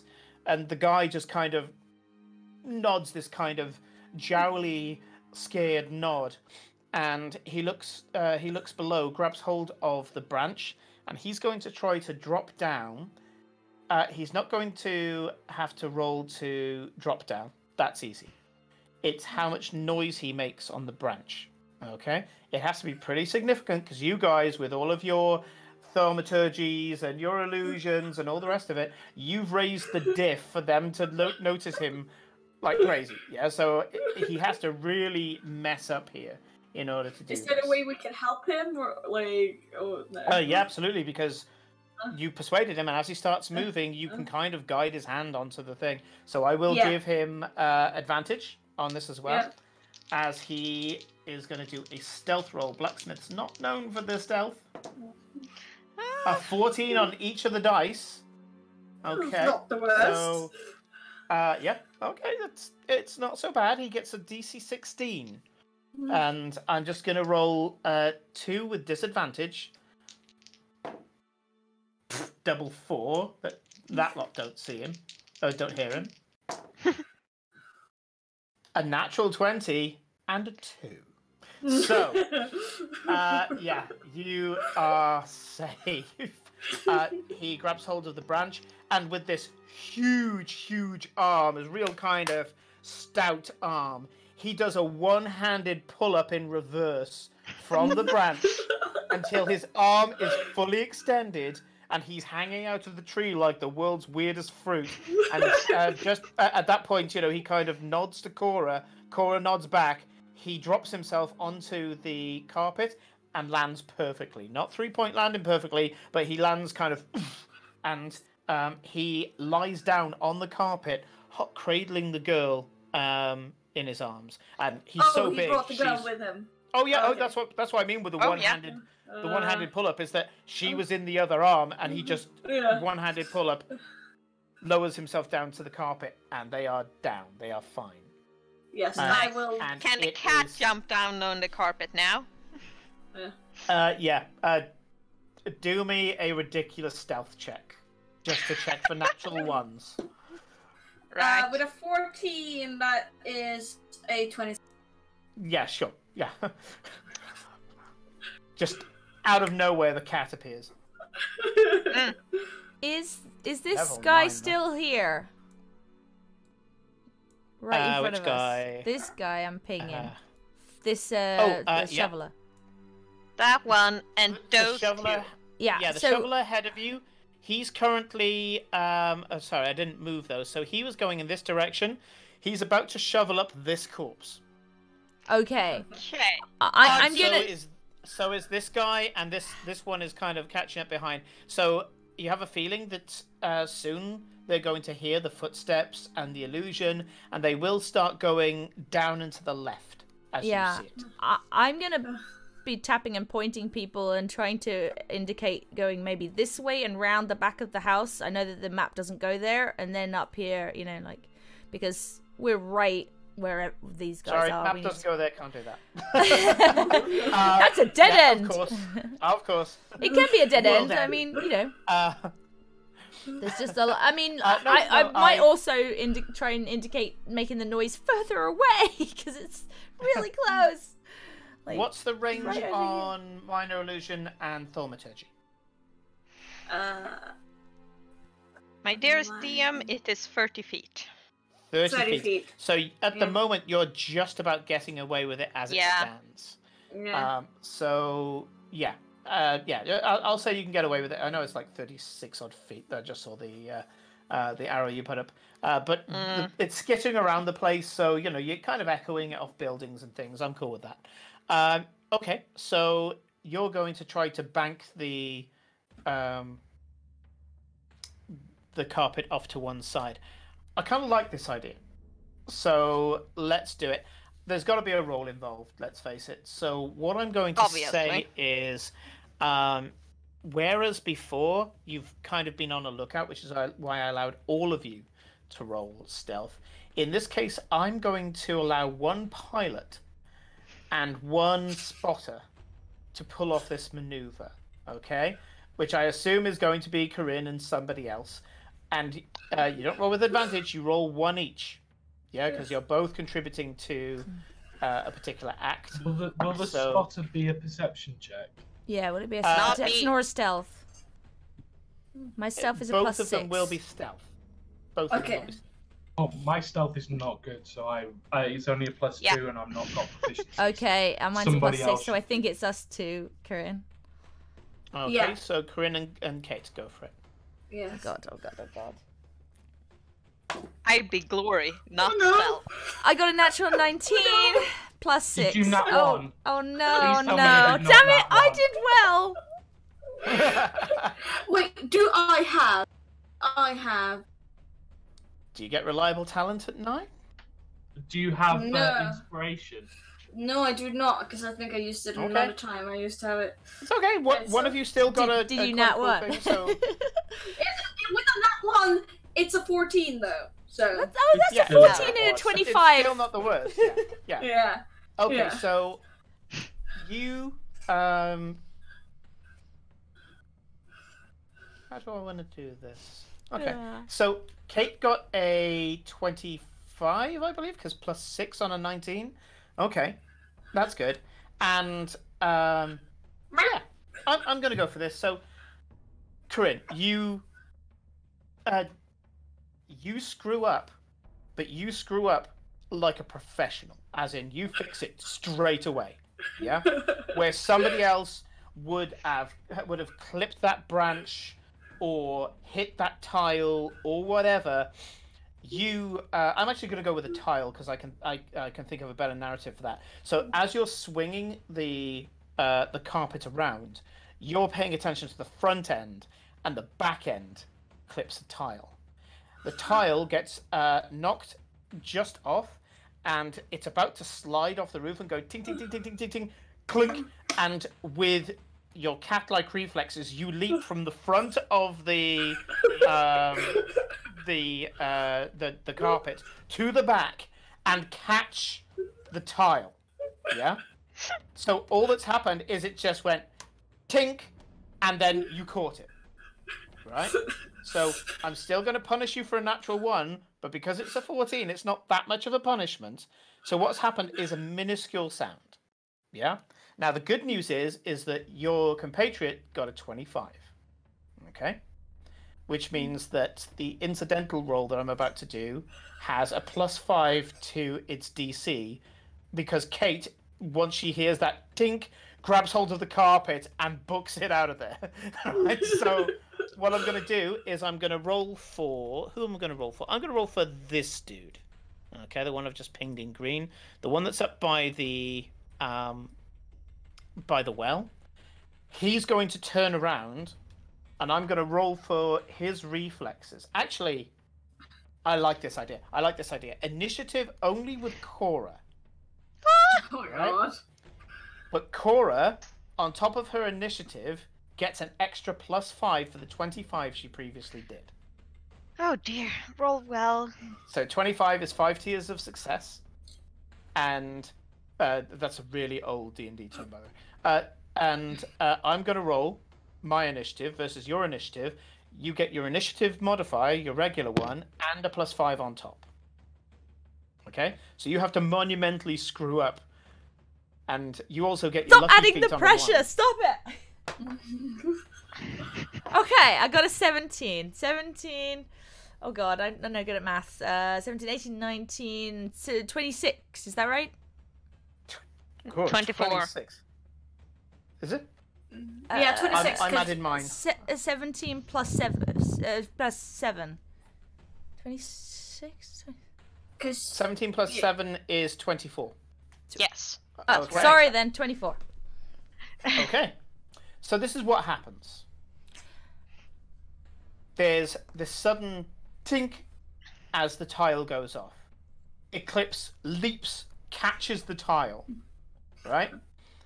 Cora realizes what's happening and without pulling the carpet from underneath the jumping cat, which would be funny, but me being a dick, um, uh, the second that um, Eclipse lands and catches the tile, Cora books the um, the entire thing. So if I grab hold of all of you here, should be able to do it. I may end up dragging the horse with me. Um, Stop beating the dead horse. You're, You you're dragging the monster the as well. You're the moving the monster and the and the whole and some other dead thing. Uh, I, I don't know, but all the same, you go off to the side. I don't think we need a map at this point anyway. So you book it down the side alley, and a fraction of a second after the last tassel on your carpet goes around the corner, that creature goes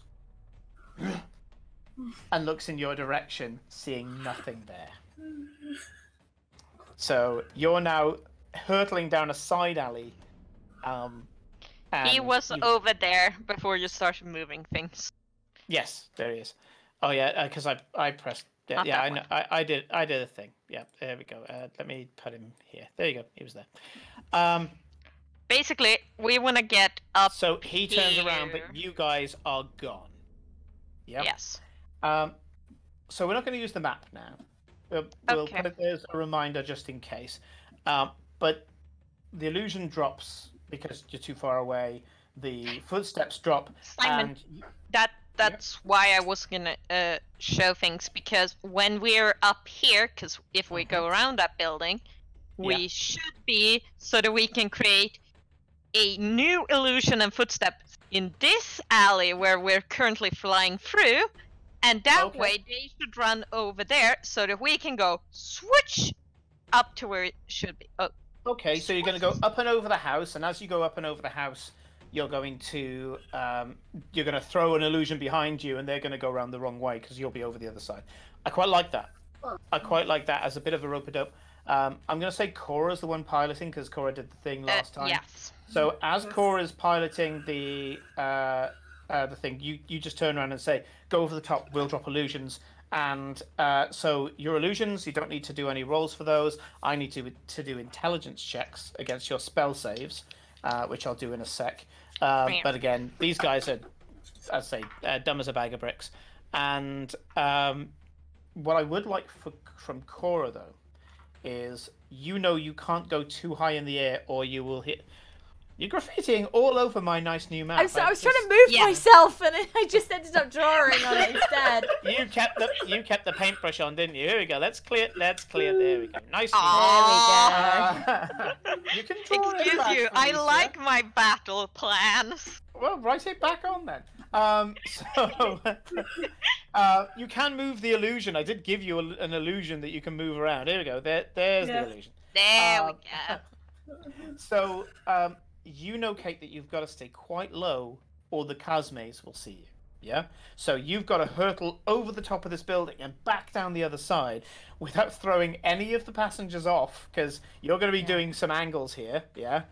Um, and um, and doing it kind of as a clean uh, a clean thing. So what I want you to do, Kate, is uh, it's not the world's hardest maneuver. It is just an arc.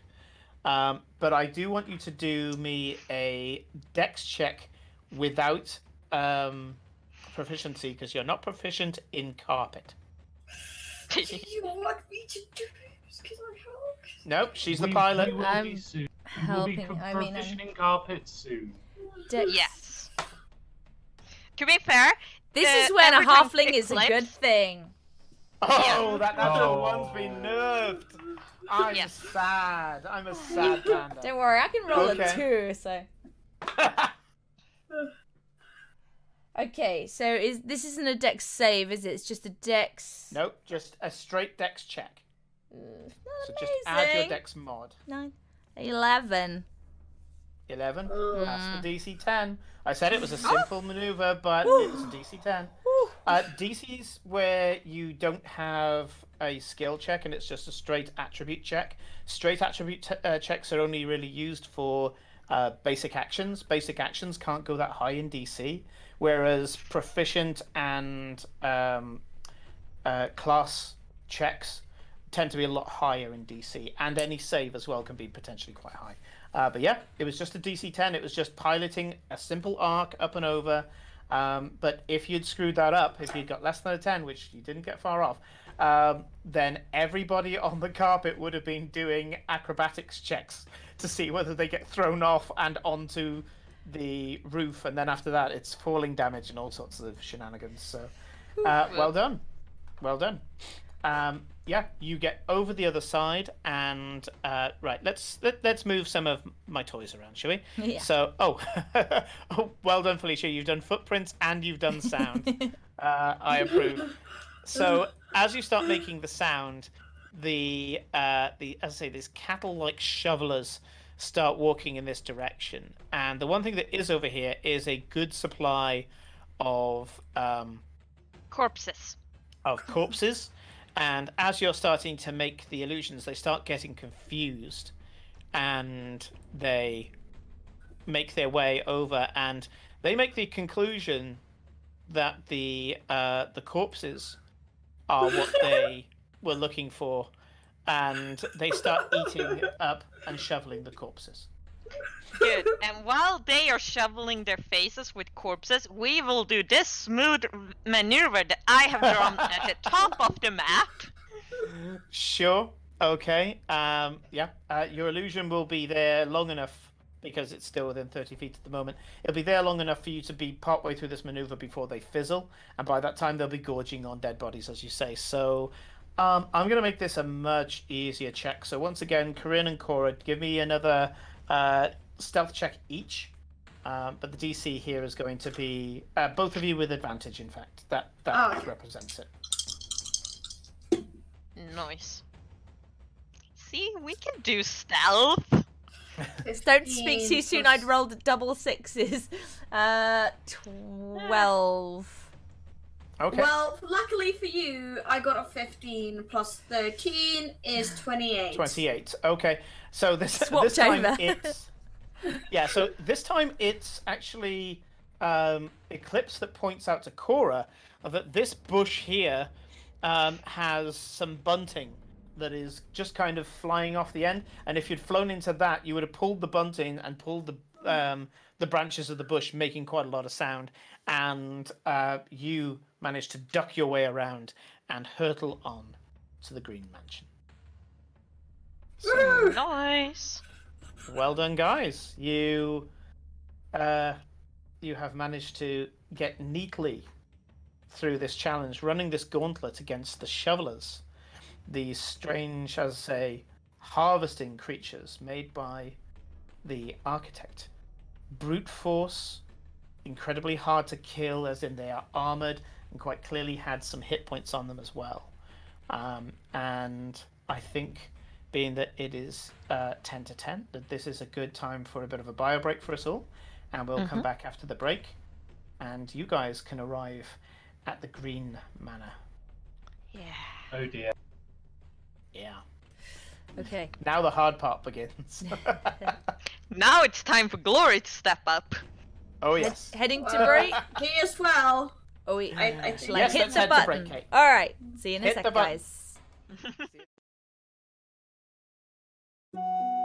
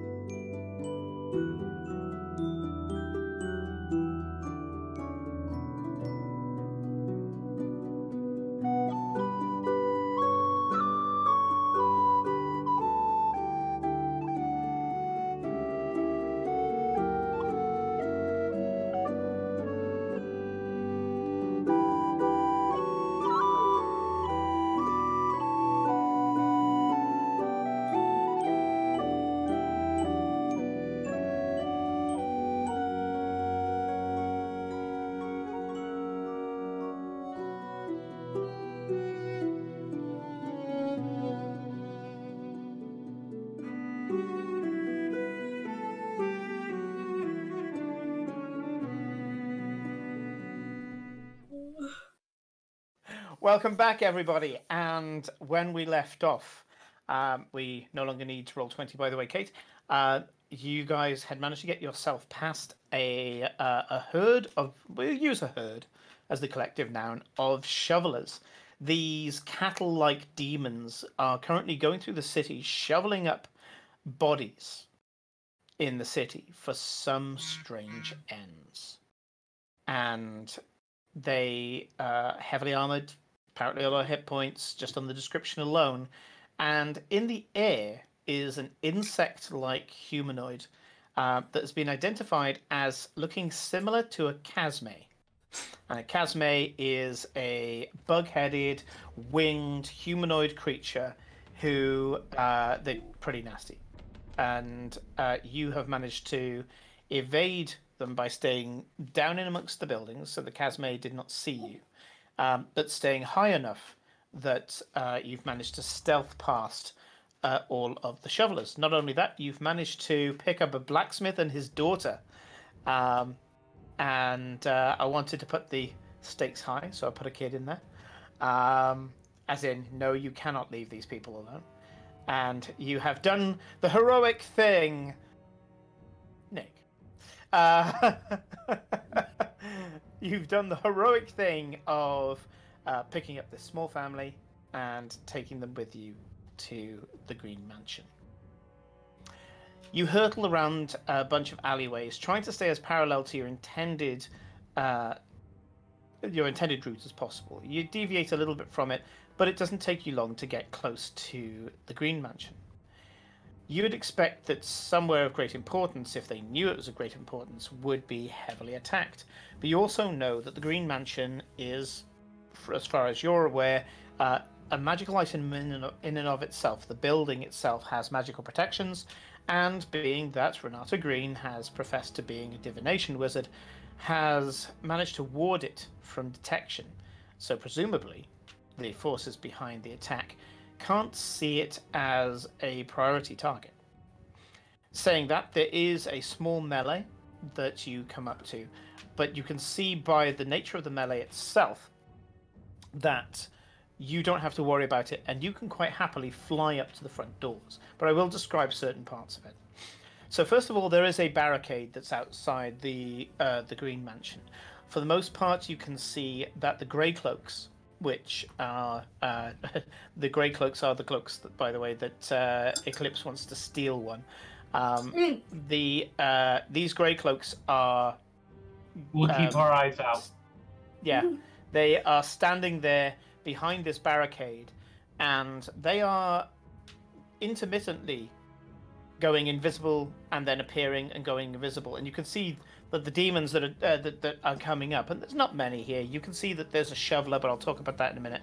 Um, there's another shoveler further down the road, but uh, it hasn't come anywhere near them yet. It's kind of trudging its way up the hill. Um, but there seems to be these grey-skinned, uh, and you recognize the uh, Inquisitor types. Yeah, so these intelligent, grey-skinned humanoids. Um, Don't think they'll you, fall you for can the see that they're in different. They're in different types of uh, mutation. So they uh, they've uh, some of them are mutated one way, some of them are mutated another way. You can see that one of them's got claws, another one seems to have uh, glowing orbs in the palms of their hands. One of them has eyes, you know, just this big set of eyes. Uh, the rest of them just have a blank face and this uh, this gaping maw uh, with these horrible shark-like teeth inside them. Um, one of them seems to have uh, mutated its arms, so it has three tentacles coming out of each shoulder, and they are attacking uh, the various green employees. But you don't see any dead green employees anywhere. Some of these inquisitors, as they're running up to the grey cloaks, the grey cloaks are seemingly randomly turning invisible and not.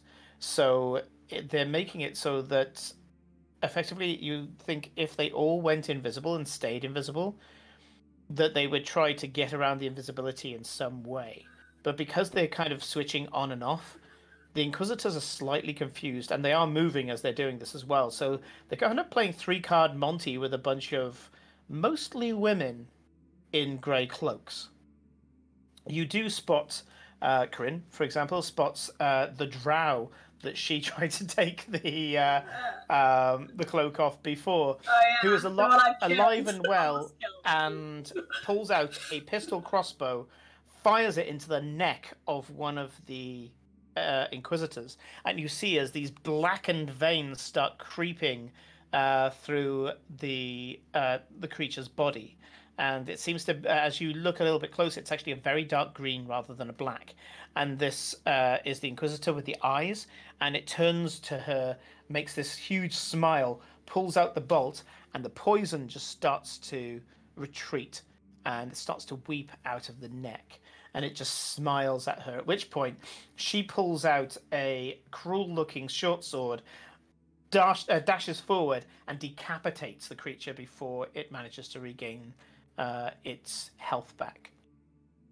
Also, the um, the shoveler that's right in front of the barricade has this um, this dwarven woman who's not a grey cloak. She's uh, she seems to have a, uh, kind of a mismatch of clothing on, uh, and you know that a lot of the the sea folk, the free folk, um, uh, as they're called, um, in although the free folk is uh, a bit confusing because the people of Freetown call themselves the free folk as well.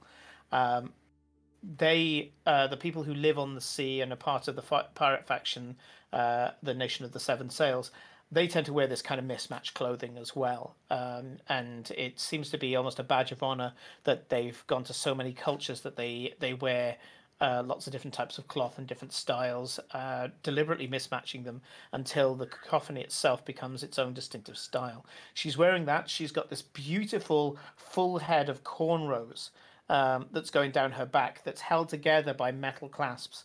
And uh, she runs up to this um, uh, to this shoveler, pulls out uh, this gigantic gun on her back seems to have all sorts of bits and pieces coming off. It looks really steampunk, really crazed.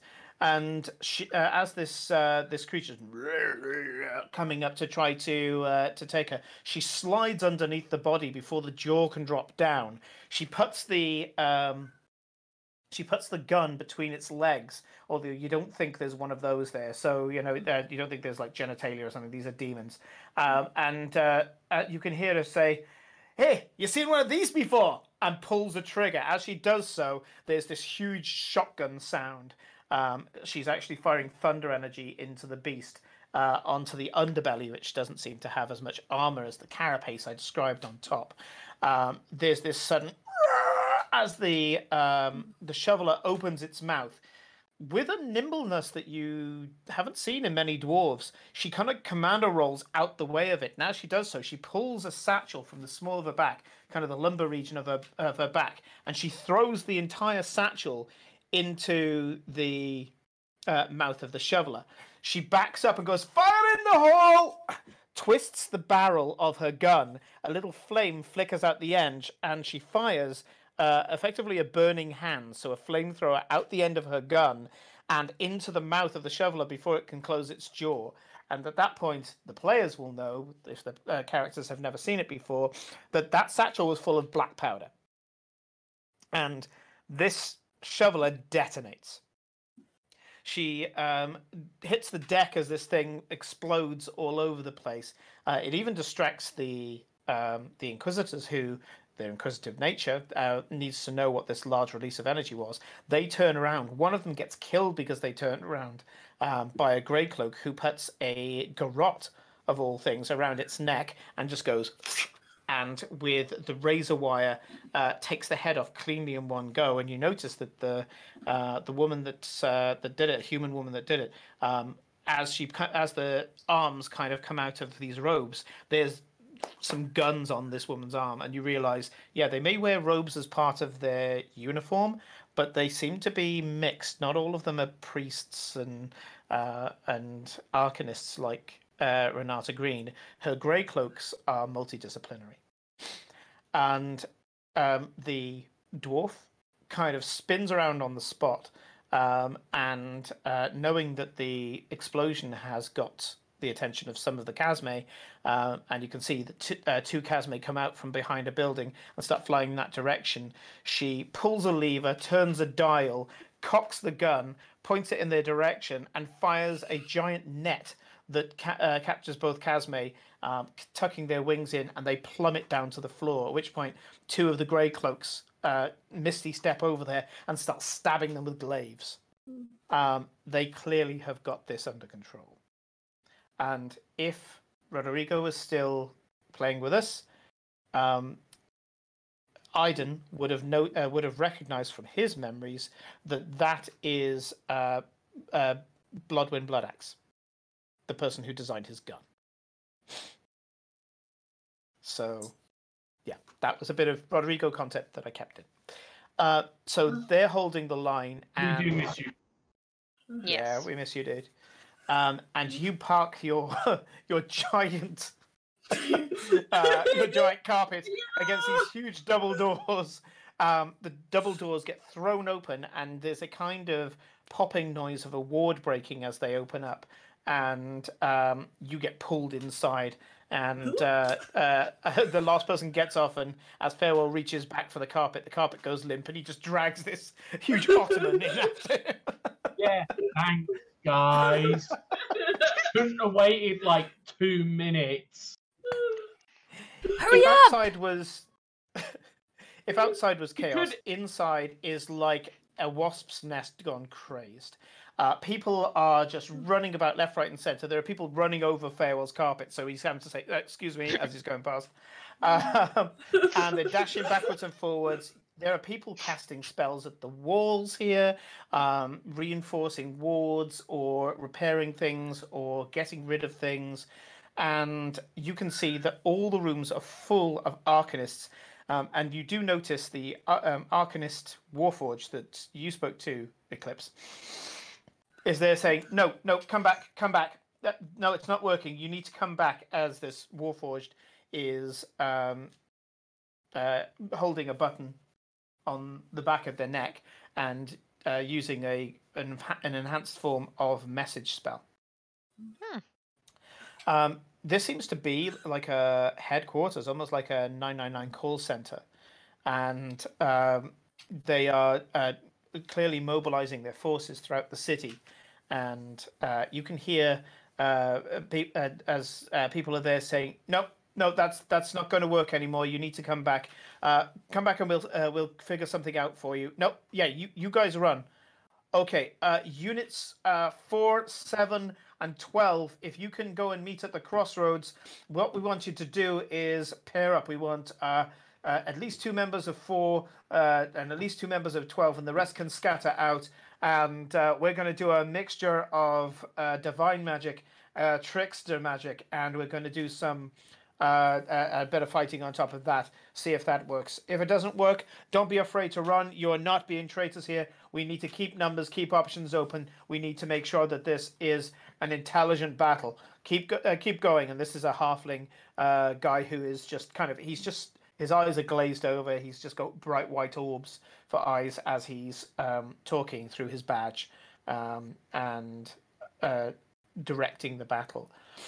Um, you can see that sat on the stairs is Olivia, and Olivia Stone looks So- rough. Um, she's still there holding her uh, silvered rapier in her left hand. Um, she's having her right arm sewn back on, and something large, like a shark bite, has been taken out of her right hand side to the point where if you didn't think she was undead before, You kind of know it now because uh, four of her ribs are exposed, and um, there's currently a bandage holding in her intestines. And she's just there watching as somebody is sewing back on her arm. You're here. Hi. Uh, uh, where's Aiden? Where, where's Aiden gone? He's Someone gone. help me Uh, with this fucking carpet. A couple of people help you roll up this carpet. Uh, he, I- has gone to. Safer than What, us. what's the place he's from? Uh, he went Uh, home. He went back to his home. He got sure he some had his on his mother and decided to follow them. Well, I guess some of the uh, uh, the answers, and she's holding her ribs, and you have a feeling that when she saw you guys, her hand went to her ribs. Before that, she didn't, and she seems to be hiding her, you know, her undead nature from you guys. Um, probably because she thought that Aiden was there, and she she's uh, holding onto it, and then uh, someone hands her like a, a coat, and she presses it to her side. Um, but they carry on sewing her arm on, kind of Igor style, uh, to I the will stump. just push, push my way through and just pull, move the coat out of the way, and I'm, I'm going to. I want to, I want to see what I can do to just patch this up because when you touch fucking- when you touch her, fucking you realize you probably can do better with the bandaging. Um, but i- i- even before you try a healing spell, you realize healing's not going to do a damn thing. Oh no, I wasn't going to waste magic on her. I mean, she's undead. She's, Yeah. It's abhorrent. But, Okay. but Uh, at the do me- point, actually, this is a- to- This is actually an important thing because uh, uh, Olivia is a big character in your in your personal storylines. Uh, do me a medicine check. Well, Farewell's good at that.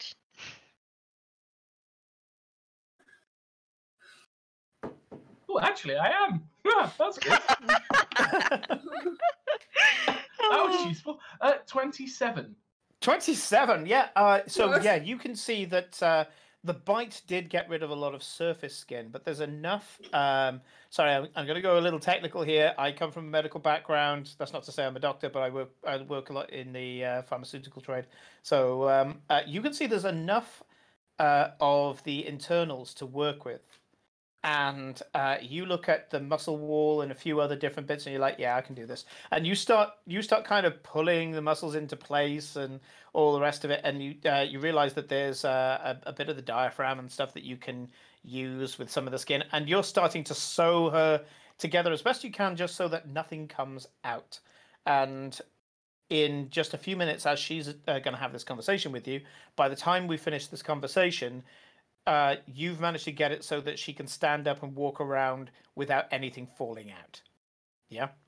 At which That's point, always good. somebody comes up to her with one of her spare patented Piper jackets, and she she kind of puts that on top, looks at herself, and goes, "Yeah." Um, so whilst you're doing that, she says, uh, "Looks like you were looking in all the wrong places.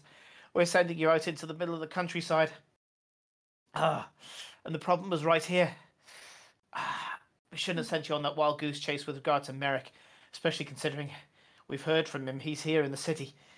Ah, ah, oh, oh, that's quite useful. Well done. Uh, uh, as you find two bits and sew it together, she's uh, uh, you you start off with just a quick stitch to uh, stitch part of her stomach back together, and she's uh, she comments on that.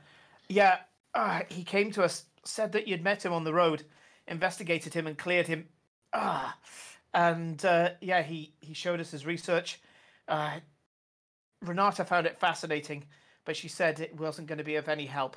She seemed really certain of it, actually. Uh, perhaps he was following his research after all. I don't know. But uh, yeah, uh, he's out there now. He's out just helping people out. He had friends in the city. Uh, I think there's uh, some goblin families and things that uh, he wanted to go and help. He said that he had to go and help those who were misunderstood and could be revealed as part of this. I don't know what he meant by that, but anyway, uh, yeah. So yeah, he uh, he went out there and um, he uh, uh, he's left pretty much everything befi- behind. Uh, he even offered his uh, his thing, his uh, what did it called, the canister, the thing with the swirly stuff inside. Renata said that she didn't want that, that it wasn't her thing. Uh, uh, but he, she, he- Yeah. he, it wouldn't be her thing. Yeah, he, he left about three research books, all written by him, and I, I should imagine those were the only copies. I, you know, Renata said that she keep them safe and have them scribed and and give him back the originals and things. But uh, yeah, he, he seems to be helping out. What whatever you said to him, well done. He felt honor bound to come back to the city apparently. So uh, yeah, um, but yeah, we sent you away, sent you to the wrong place. Sorry, because you uncovered all of this, didn't you? You uncovered the uh, the ooze, but the ooze is just I, we think that's just a byproduct. Um, we've Where seen is it the kind center? of do some stuff. Where are We they coming figure from? Well, Where's the source? we we thought it was the university to start off with. Uh, we were looking into well, as, as we looked at before, that, that magic gone awry. Some research are doing something weird. Uh, that's where Merrick helped out as well. He said he had some theories, but Renata said that uh, he could go out and help his friends, so he he didn't press that any further. Um, so yeah, she said that she had already pretty much got where the source was. At the moment, she's fighting it. She's upstairs. She only talks intermittently. She's very distracted. Whatever the the major creature, the the archdemon or whatever it is. The that- architect. Architect. He's calling she's- himself the architect. Yeah, she she referred to him as the master, but yeah, that, that that's been said uh, by the the grey skinned ones. Uh, they announced that the architect is coming. Some other stuff as well. I didn't catch the rest of it.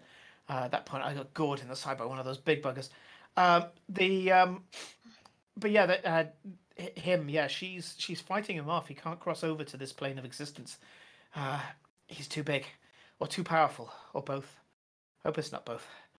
Um, but yeah, she uh, she said that as long as she can keep her focus on him, he won't be able to come through. But uh, his minions are as well. They're slippery. Either that or he's slippery. He's finding a way of getting them through cracks here and there. We managed to find one. We closed it. Uh, well, I say we closed it. Uh, somebody had to uh, put some major power behind that, and then one of those flying buggers came down and killed them just after they did it. kind of wanted to find out how they did that, but it was a, a researcher from the university, um, an Aarakocra. That's the bird guys, yeah. Um, Yes. yeah, uh, he, he said he he said he was a uh, uh, Horizon something, and, and yeah, he, he he could close the damn thing. Ah, yeah. So yeah, I I don't know, I don't know. We'll see. Uh, yeah. Anyway, uh, go, go up. You can try and speak to her, but if not, there's other people up there who'll speak to you. After. Oh. All right. Uh, I need a spare coat, and uh, they give her the coat, and we catch up with the outcome of Nick's roll, and she goes, "Ah, that's not bad." And she kind of tests the arm, and the arm is a little sluggish. You can tell it's a bit slow, but she goes, "That'll do. I only need that to hold the shield." Ah, let's go. And she runs up the stairs, and you're up after her, up into Renata's study. Hmm. When you go into Renata's study, you can see that behind the desk, Renata is floating about three feet off the floor, cross-legged. Her uh, her spell book is open in front of her. Um, she's holding an orb in one hand and a scepter in the other, and um, this bright white light is just pouring out of her eyes. Sweat is falling down her brow. Her red hair is stuck to her head. Um, and uh, you can tell uh, that she's a bit disheveled, uh, that she's been, you know, under this effort, and her face is completely in a rictus at the moment. You have a feeling that there's not a single relaxed muscle in her face. Her neck is kind of bulging with the effort, and um, she is holding back this incredibly powerful being. And um, the other people How's in the room, there are there are mixed um, scholars um, that you see before. There was a, an old fella that you saw, here before, and they're dressed kind of like him. He's not around, and uh, they're all dressed like him. And uh, there's they're poring over books. She's got a really good library, and they're going. If we put a conjunction between these two spells, and someone goes, but no one's ever done it before, and he goes, that's the point. He's not going to know. Who knows? We only just came up with this ourselves and uh, they they're coming up with a lot of different kind of strange and wonderful arcane tactics. Um, off to one side, because I said there's kind of study alcoves, the largest alcove, which you sat in before with, um, it was a, a, basically a coffee table. A larger table has been dragged over from one of the other sections, and there's a map of the city placed out in front of it. And there is a uh, a balding man. He's got a, a widow's peak, um, and he is poring over it, and his his jaw is set, uh, his eyebrows are furrowed, and he's kind of gripping the table, white knuckled, and goes, "Where are the rest of my men? I'm gonna go back downstairs and talk to the communicators." And um, you guys know from uh, every coin you've ever seen in the city, in fact, Oh, um, that this is Duke Edmund Ostermark III, Duke of the city, and uh, he turns to two uh, two career soldiers. You know, these these are the kind of majors you're assuming, and uh, he says, "We're gonna have to get back to the palace at some point. Get my chevaliers up here now, lancers. We're gonna need to get them to get back." And uh, they snap to attention and say, Oh, "Yes, sir." And he he he just shoulder barges past you guys without giving you a second look, and starts down the stairs. don't care. My, my, Uh, how There rude. you go. Uh, so like, yeah. So uh, he barges past you, doesn't even acknowledge your existence. But then lots of people have kind of been bumping past you in the chaos. Uh, one of the scholars looks up and goes, "Ah, Hawk and Harness, you're here. Good. Uh, We have this- to get a better name than that. yeah. until you guys get given a name, they name you after the tavern that you've been allocated to uh, as your home. And uh, it Yep. says, uh, "Okay, uh, we might have a mission with for you in a second. We're just getting in new intel now. Uh, so, uh, what have they told you so far? Uh, these things adapt." Uh, e- even like if you're throwing various energy types, people have We been know. using uh, the chromatic sphere You um, spell. Uh, oh, okay. Um, We Uh, noticed. we fought some things that turned itself into copies of us. That was not fun. And they also link to you, so if they take damage, you take damage. That Yeah, was Eclipse fun. had a particularly. the particularly color drains from his face, and he goes, "Hang on, hang on!" Pulls over a sheet of paper, scrawls it down, uh, mutters something over the paper, and all the ink that he's just done disappears from the paper. I what I do is because during the short rest, um, I probably would have had enough time to make some notes on um, the creatures and, and what 10, I 15 found minutes, to I'd say that. Yeah. Yeah, and Glory Yeah, probably I will- I will open my book. because both of them like this sort of thing, like dissecting their demonic Yeah. enemies. So Yeah, and I will open the book to the relevant page and just go. I, I- I've just saved you a job.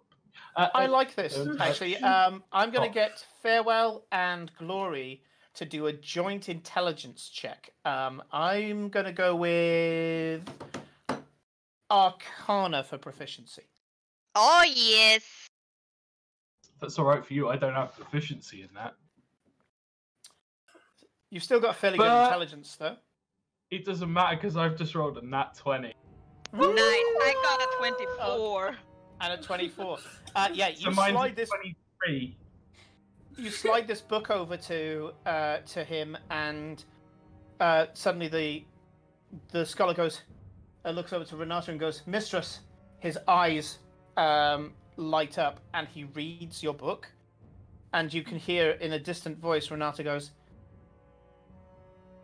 "More examples of his works. This being is truly a genius. He twists and turns my mind."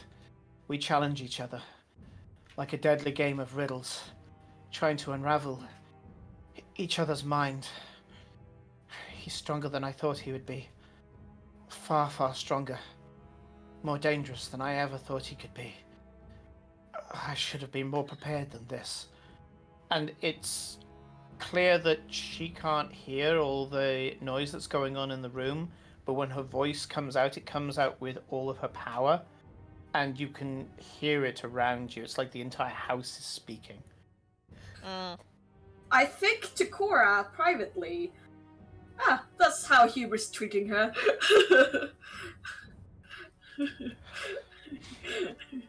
more sweat seems to just roll down her open eye uh, without uh, getting her to blink or anything like that. She stares with this thousand yard stare and she says, We need an edge. We need to get out into the city. Ah, we need to find what what we can do to somehow shift things in our favor. An edge. And then when we know the source, when we know how to plug this and stop this bridge between our city and the abyss, then we can take it down. But first, we need to be able to have access to the city. The Liberty Quarter have locked down, they've brought buildings down to form a barricade. They're using all the guile of the Thieves Guild to keep their people safe. In the palace, ancient wards are currently being used. They're currently only having to deal with the flyers, something that they're more than capable of doing. But even then, I can hear reports from those below. They all report to me, I can hear it all. A terrible cacophony that I can pick apart, like pulling a strand out of a great tapestry. They are reporting now that outside the palace, larger creatures, larger than the shovelers as they've given them name, they are uh, writhing on the floor, mutating in front of the guards' eyes, out of shot of their crossbows and spells. They can see the claws lengthening, turning into that of a climbing creature. Others, the pads of their hands and feet, grow wide like a tree lizard.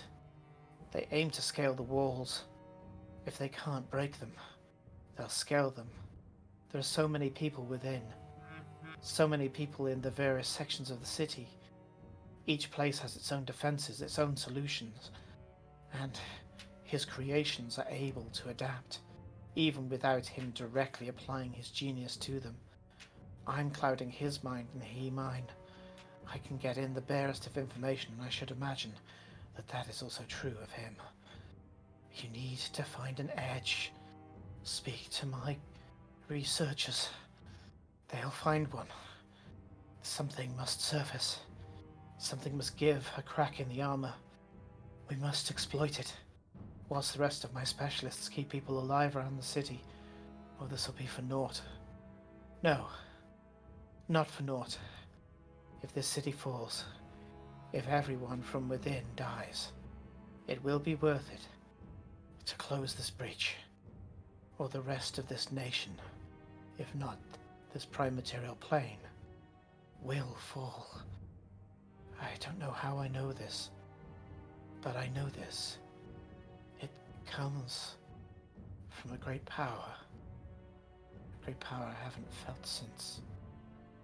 And she her voice just gets more faint, and you have a feeling she's still talking, but at this point, it's in her head. Hmm. Okay, researchers.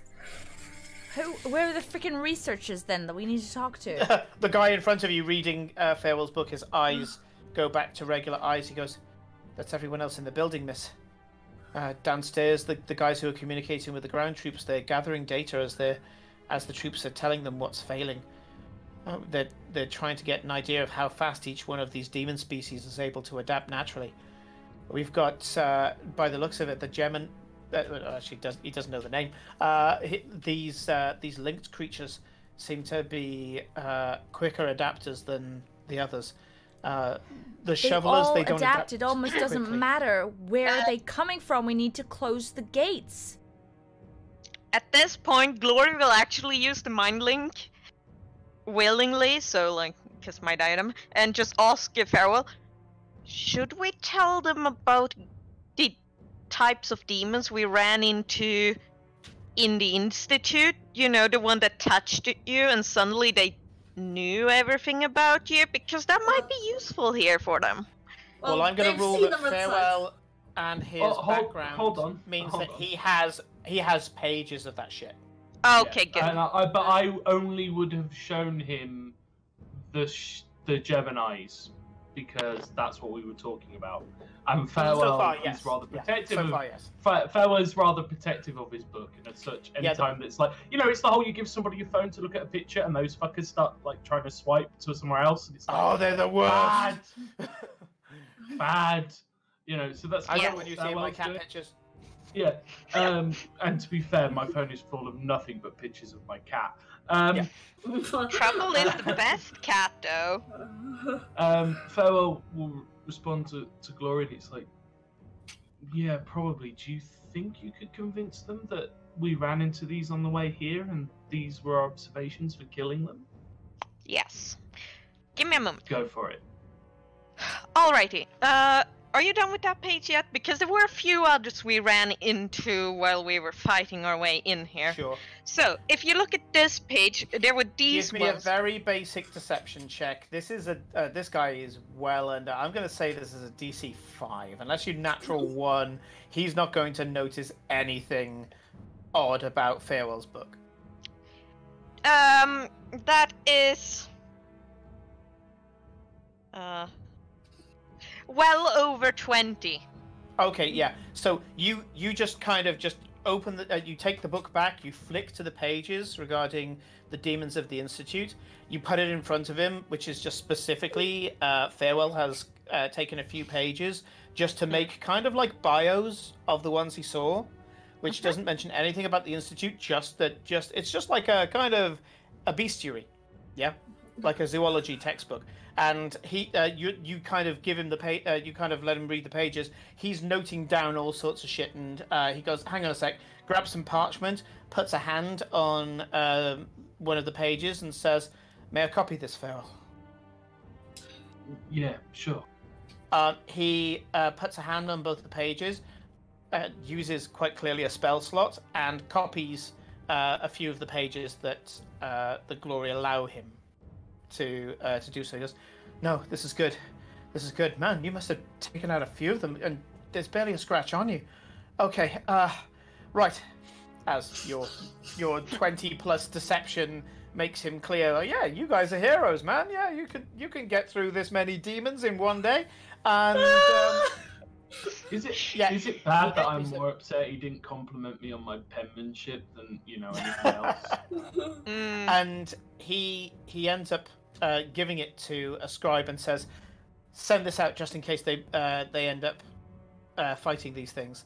And so yeah, the the the tongue with the uh, the one with the tongue with the weird barb that sticks in people. Um, Your your more comprehensive notes on the uh, Inquisitors, all of Mhm. those guys. Um, uh, you've now sent out the details, and that will actually affect the battle. Um, oh, nice. so the uh, you send that out to the researchers, and the researchers just start sending this out to the troops out in the city. They are broadcasting it effectively uh, to uh, everybody, Liberty Quarter and all the rest of it, which is what the guys downstairs are mostly doing.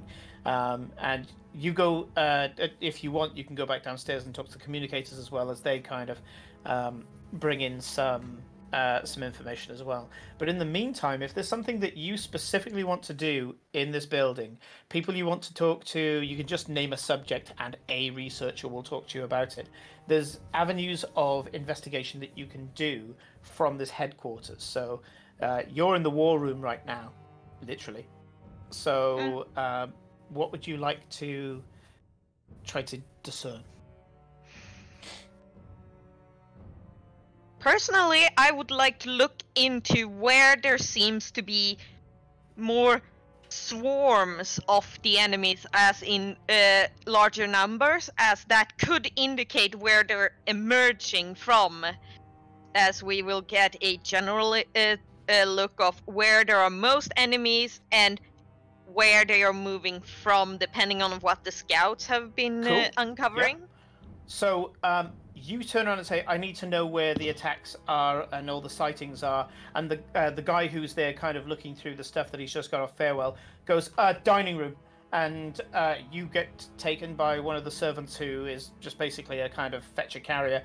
Uh, takes you to the dining room, and in there is a giant map of the city uh, that's been uh, thrown over the the large dining table that's there, and you can see that they have placed markers where uh, each thing has come up and the markers are color coded and all the rest of it. These are researchers after all. And you can see all of the distribution of attacks and types of attacks in the city. I would like you to do an investigation check on this. Um, and if you're not proficient in in investigation, I will also accept any proficiency to do with cartography or navigation. If you tell me anything, I can help with any investigation check of what you want to find out. As I say, and whilst they're doing that, Simon, I'd like to prepare a ritual spell if I can. Absolutely. What's the ritual spell? Commune. Sure. Woohoo. Yeah. Okay. You start doing that. How long does your ritual take? Because it's ten minutes, minutes. plus eleven minutes. Yeah. But yeah, yeah. That's yeah. fine. Um, okay. But yes, I asked Glory if she needs help with finding out on the map or whatever, because Yes, I will tell Eclipse uh, what I'm doing and uh, that I want to discern any patterns between where there are more enemies of certain types and potentially where they might be coming from based on that where uh, the direction they're moving from slash coming from and all of that. Yes. yes. So, with all the fervor of a conspiracy theorist in their little den with their tin hats, um, the urban bounty hunter Tabaxi, um, her background triggers, and Yes. um, Eclipse, I would like you to do an investigation check on this map with advantage. Nice. Hmm. That's why I wanted Eclipse to help me. So an eight and an eighteen, and an eighteen plus. I think it's plus twelve. I am pretty sure Eclipse it's plus crazy, 12. if I remember right.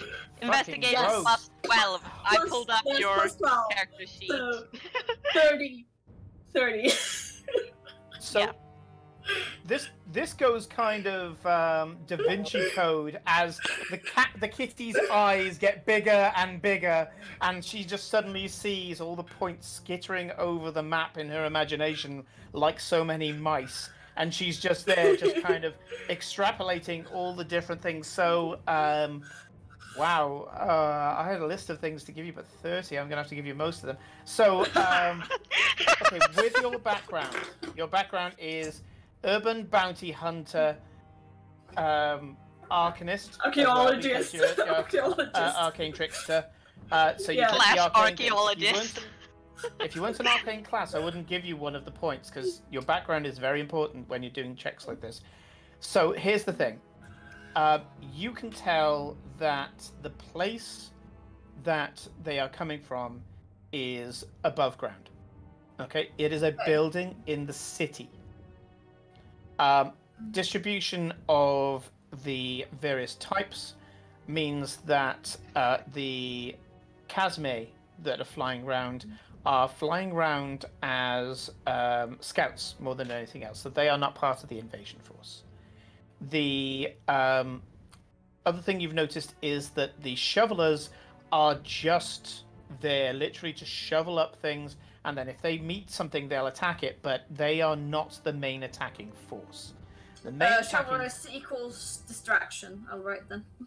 uh, well the shovelers are just there mostly to pick up the bodies to harvest the bodies Okay. um, Um, yeah from what you've seen crew. already yeah they're, they're the cleanup crew um, and the um, main attack is through bands of these inquisitor types and but looking at them now the inquisitors the inquisitors are a huge title in the prime material plane.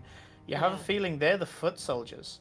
They Uh. are the adaptables that run around the place as death squads finding whatever it is that needs to be taken out adapting to that situation um, learning things as they go along uh, Nobody have expects the abyssal inquisition.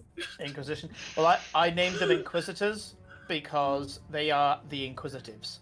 They go out and check they go out and gain data and and kill as they do so.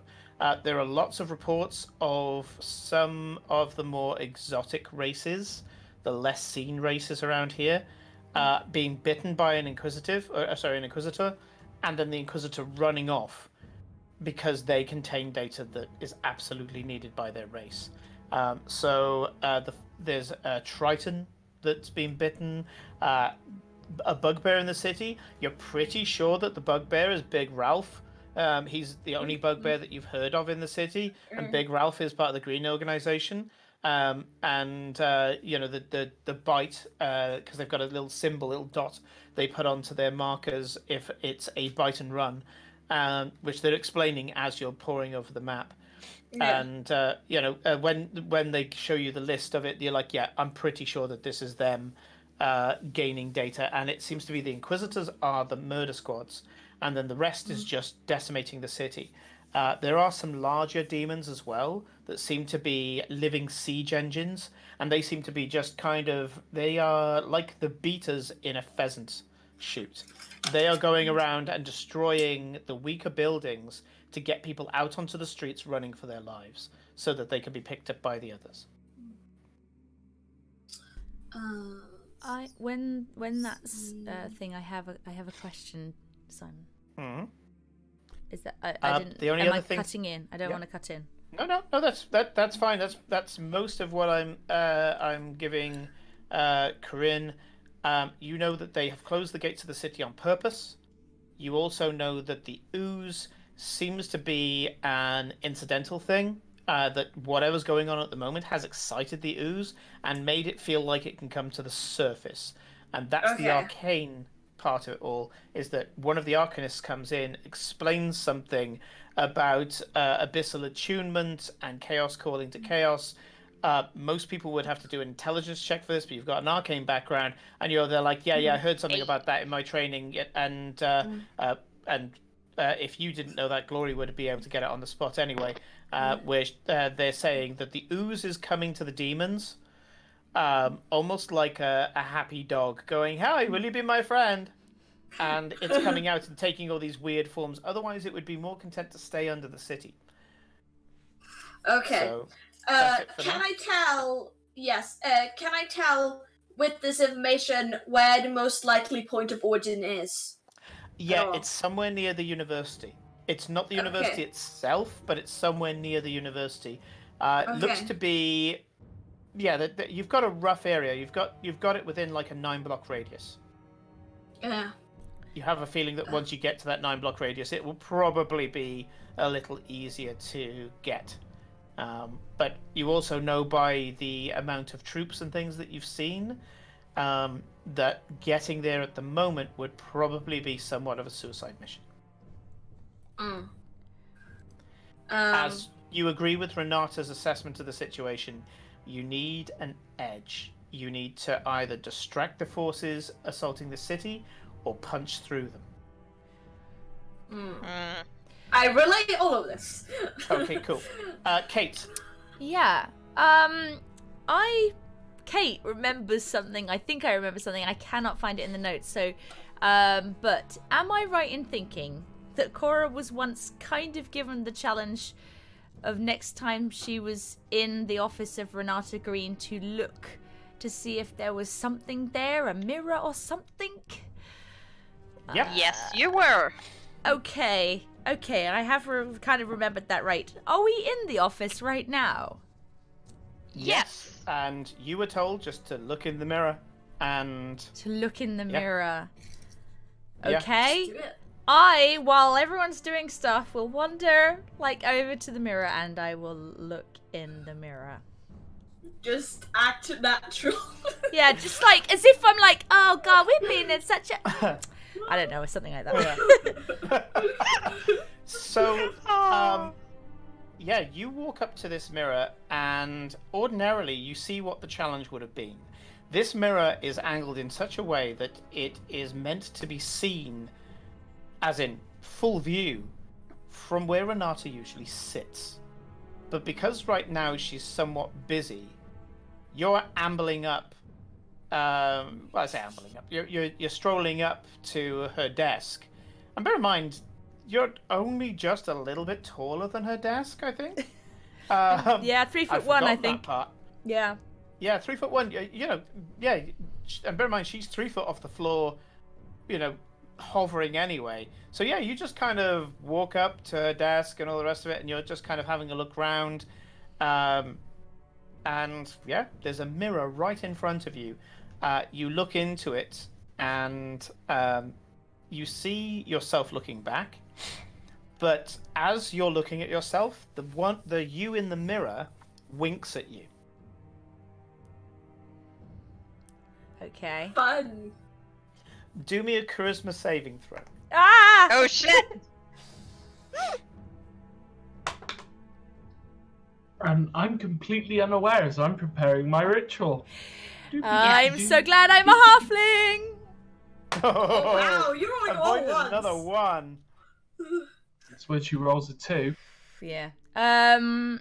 Okay. Charisma saving. You're good throw. at charisma. That is a non-natural twenty. Okay.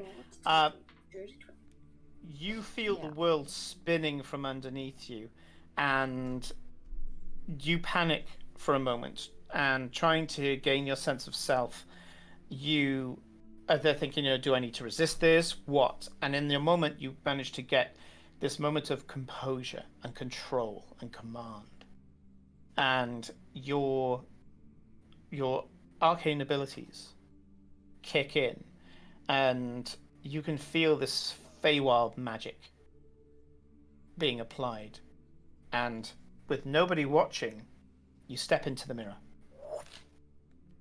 What? Bye. Sorry, guys. I, by the way, uh, do I? I Cora surely would remember who had told her to look in the mirror. Can you remind The me? The general, right? the general. Was it the Yeah, general? Okay, I thought it the was. general. Yeah. Okay, cool. I am Also, Partly the I'm only so one who could we've done have this 'cause I'm noticed that get so because much revenge. And Glory are in the other room was Farewell, and Farewell is busy with the ritual. Yeah. Yeah, Farewell's, Yeah. Do- Farewell's doing a ritual. You two have gone downstairs. So Cora's just walked up to this uh, uh, this mirror, and uh, I- I'm yeah, uh, uh, I'm I'm gonna Yep, I'm yep, not yep. gonna over explain at the moment. Nope. Uh, so you walk straight into the mirror, Cora, and out the other side, and you are currently in kind of like a broom closet, but all around you, every wall is full of books. Now, you don't know a huge amount of books, although you have heard Farewell talk extensively about books. But even you know that the books around you are horrendously, horrendously expensive. Um, Cora's probably And- heard Glory and Farewell talk about books together. Actually, yeah, that's that's quite true. And you, you guys have hit a lot of libraries recently. So yeah, I'm going to say you know enough about books to know an expensive looking book when you see one. You are surrounded by what seems to be thousands upon thousands of books. A Uh, thousand. So it's in- not a walking wardrobe style thing. It's bigger than that, is it? It's I was quite, it's quite it- narrow. It's quite narrow. Okay, so it's quite uh, narrow, but- go- but quite- into- uh, it, perception but kind long? of loses its it, it. It's a weird. It's like you're looking through the world through a fisheye lens. Okay, so the it's just space it's a kind of feels weird. like a five yeah, foot square. It feels like You a five foot square, but you can see thousands of books in front of you. Right. You've basically gone, we need guns, but you've gone, we need books, and all the shelves have just shot past. Yeah. Yeah. For Terry Pratchett fans, you've effectively walked into L space. So um, you can just see just these books around you, and you move your head just slightly, and all the books seem to move. And you hear a voice that you think you've heard before. It's a familiar sounding voice. It's quite an authoritative male voice that says, That one there, Cora. The one with the lilac spine and the gold trim. That one. Hmm. And you Do I get the immediately are sense drawn this to might be- particular book. Yeah. Do I get the sense this might be um, Enola's dad? Yeah. if you were to put money on it, you have a feeling that the Summer King himself is talking to you. Okay, I'm gonna reach Just up so and you pull know, the book. you're talking. Basically, it's your father-in-law or future father-in-law. So yes, daddy. You reach out and take the book from the uh, uh, uh, from the shelf. You look at it, and it's got this beautiful fine calligraphied elven script that you know you, have a feeling this is some sort of uh, Feywild scripting, and you have a feeling that you wouldn't be able to read it. But then the second you look at it, it translates itself in your head, and you read that it is a peerage. So it is a uh, a list of families and nobility in the Feywild, and you open it up, flick through it, and just momentarily, and yeah, it's got names, um, and it's got who their children are, uh, their various marriages and mistresses in some cases, and consorts in some cases, uh, because Feywild politics.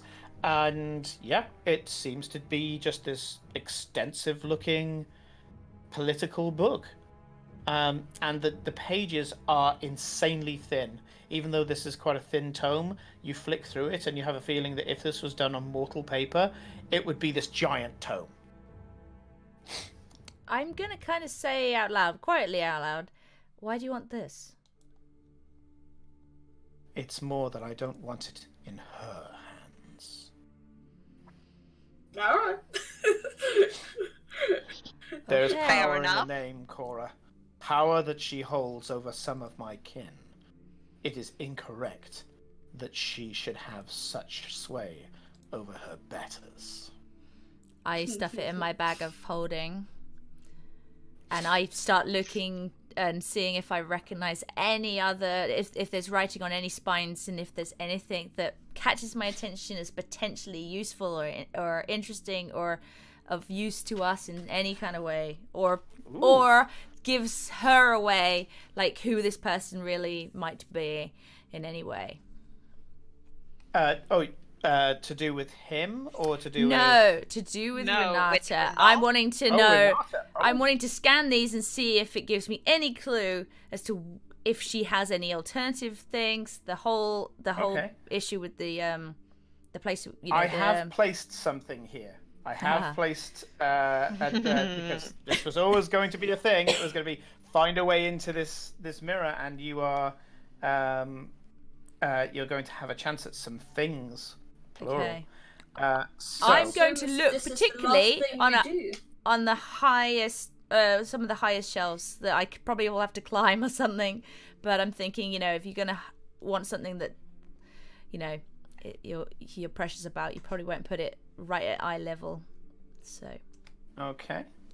Uh, yeah. Okay. I I like this idea. So, give me an investigation check.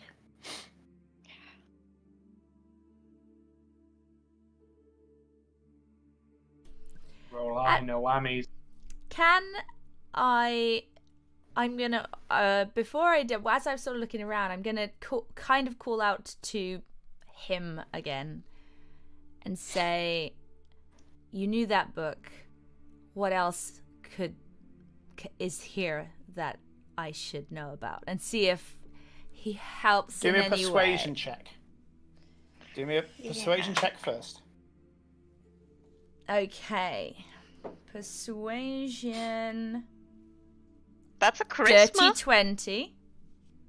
Okay. He says, Well, that's the question, isn't it? I think it's time we looked around.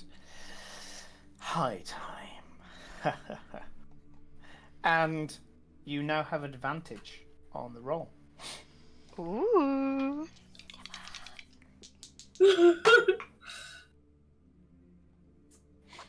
Okay. So, and this was investigation, was it? To start with, yes. Yeah, there's a couple of other rolls, but investigation to start with. 21. 21. Okay. Uh, so there's two things that you find. First of all, you find. Uh, roll me a d4.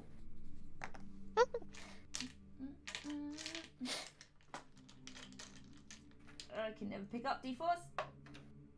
Uh, it's only a 1, but I, I guess it's just a thing. Okay. You you find a book, and suddenly there's something in you that just gets drawn to the book. You suddenly get desire for the book, and before you uh, have a chance to check yourself, you've already pulled the book off the shelf and put it into your bag. Um, you're not entirely sure why you did that. The second thing is that you see um, a book called The Shattered Glass, and it has a broken clock on the spine. And immediately you can feel your patron smiling smugly behind you, as if he's standing behind you. And you pull that out as well. And you now have a copy of The Broken Glass. Sh- You you called it the shattered glass. Is it the broken glass or Oh, shattered sorry, glass? sorry, the sh- shattered glass. Sorry, shattered, Shattered, glass. shattered glass, but it's got a broken clock on the spine and another a book that I don't know yet because I just stick it. In the Uh, yeah, just a book that you really, really wanted. Yeah. Okay. Cool. Uh. Next I, roll, or is there more? I don't know. She's. Uh, I don't know. I feel I need to Give me get an back Arcana check. Okay. Uh, no, uh, this is all part of you looking around. Give me an Arcana check. Oh man, those natural ones are doing it for me today. Okay. Um. Good thing you're a halfling. Uh, that's not amazing though. That's an eight. That's an eight. Yeah, you look around and there's a lot of technical stuff here. You're you're there like something. This, I'm sort of thinking should be Farewell should be here. Farewell should be in this room. Yeah, you're really there thinking. You know, Farewell would know what to grab, and you're there. You you kind of run your fingers over some of the titles and just nothing happening. Okay. Uh, final thing. This is your hail mary now. Oh god. I'd like you to do an insight check. Oh. Uh, come on. No. Oh, All my good rolls have got have, have been taken. Uh, five, six, seven, eight. You're Yeah. trying to just get some idea of who she is as a person. You are what you read, or at least the books that you choose to buy tell you something about that person, and you're just trying to find something personal. You can see a lot of technical stuff here, but the you know you're just there saying if I can just get a handle on who she is, that would be enough. And you look around, and there's stuff on art, there's stuff on pottery, there's stuff on bricklaying throughout the ages. She's got such an eclectic, uh, st- eclectic mix of stuff that you're just like, fuck this woman, and that's it. You're done. You know, you look around and you're just overwhelmed by the sheer amount of data around you. I I would like just before I walk back out of the uh, mirror because I'm like ah I don't know, but um I would like to is do we know if is left-handed or right-handed? Uh, you have watched her right. I'm gonna keep it memorable. She's left-handed like me. left-handed. I will um, bend down and just take the very first bottom book, pro- hoping that one she won't necessarily notice, but also thinking that might be a quick. I want a quick book. I'm just going to take it, stuff it in my bag, and um, and show it to farewell and people later, and just be like, I'm just going to see. If this will give any hints, I have no idea. I'm just taking another it. book, just one book. Okay, okay, I'm willing to do this. Kate, Cora closes her eyes. And is there anything in particular you're thinking about when you go out and just grab this book? Um, I mean, she's she's hoping for a book that kind of just, um, she's never quite trusted Renata, and she wants something that will reveal who, who and what she really is, because she doesn't trust this person who's basically her age, who's in this position. She seems too powerful. Um, who would that appeal to? Um,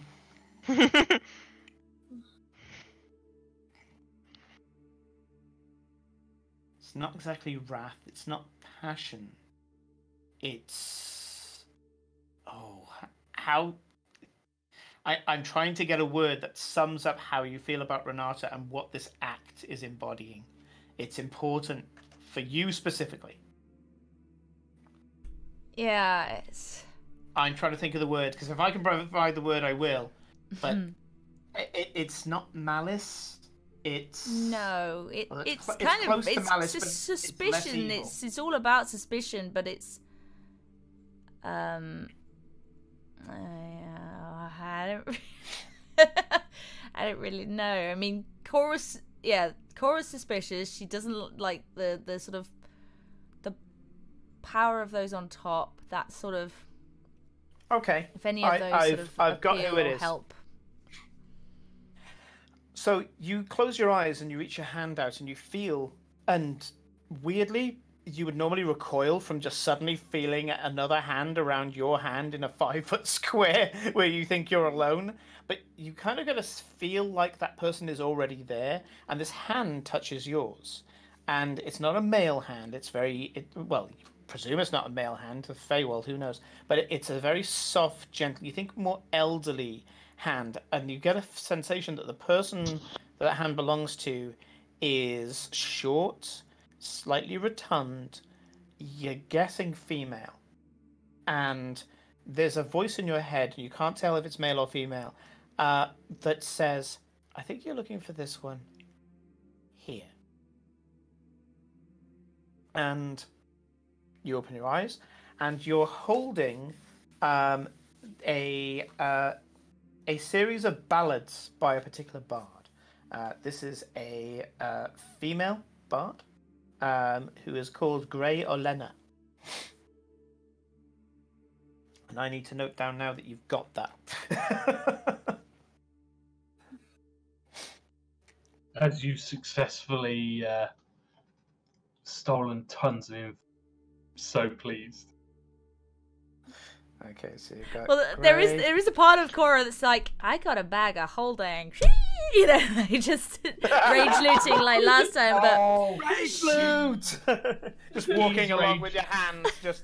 scooping please, rage loot. oh, I didn't say I'd done it, but that's why I grabbed that one book. this is worth. I Okay, know so there's you a, have she's also trying to like not get even more suspicious, like to not be obvious, but I don't know. Yeah. Okay, so you've got the Ballads of Grey Elena, Shattered Glass, and what you know as a random book, but I'm going to write down what it is. Okay. I mean, at some point Um, I will open it and we'll we'll roleplay Yeah. that later, but Yeah, of it's- course, she's yeah. not going to do that right this second. No. Fascinating. This is great, uh, Kate.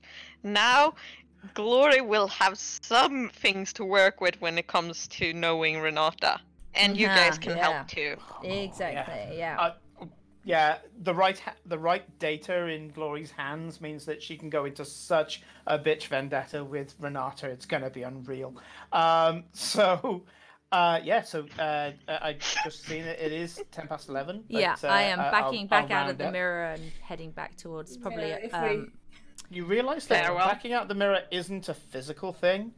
You you think about stepping back, and suddenly you're just stood there in Back the room, out. and you have a feeling that you haven't actually, um, you haven't actually moved from the spot. You've just looked into the mirror for a second. oh, and made you put your hand in the bag of holding. Yeah. Yeah, you put your hand in the bag of holding, and um, you kind of think about the appropriate book, and suddenly you can feel that lovely, you know, gilded spine. And uh, yeah, they're like, yeah, oh yeah, uh, uh, four books actually, because you got the peerage as well. And Mm. yeah, so there's that lovely gilded spine and the tassel coming out the bottom end of it, and you're like, yep, uh, those books are real. Yep. I I am I'm wondering like casually away- at, at, at the same time maybe glancing at what's on her desk but but uh, can By yeah, the way, you have ju- uh, just just for your own note, uh, you have just managed to uh, get through Balena's vault. So Balena's vault is effectively a walk-in bag of holding.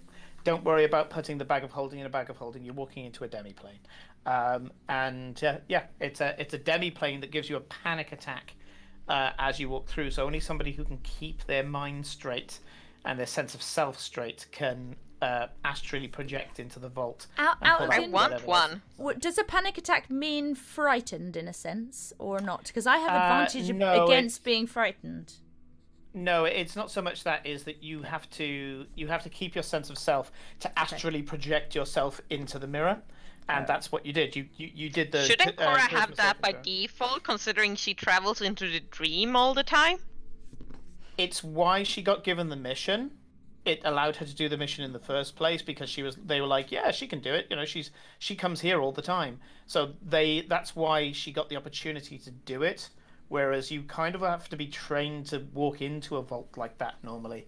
Um, so Renata, when she So clearly bought not be able this vault or acquired it. Well, if you if you tell him how you did it, he'd have a very good chance of doing it. It's not something that takes years of practice, but it is something that if you don't know how to get in, it's not something you can easily guess. Because the second that you feel like some shit's going to go wrong, you you are too rattled to be able to astrally project. Um, so yeah, well done. You managed to get four books out of Belena's vault. Um, Belena's Vault, I originally put that into an adventure, God, probably about 12 years ago, um, and they could not get in. They just freaked the fuck out and broke the mirror. So, uh, yeah, which, by the way, locks the vault. You have to mend the mirror. Um, so that's that. Um, I think it's probably a good place to leave you uh, with uh, Eclipse and Glory downstairs scrutinizing the map.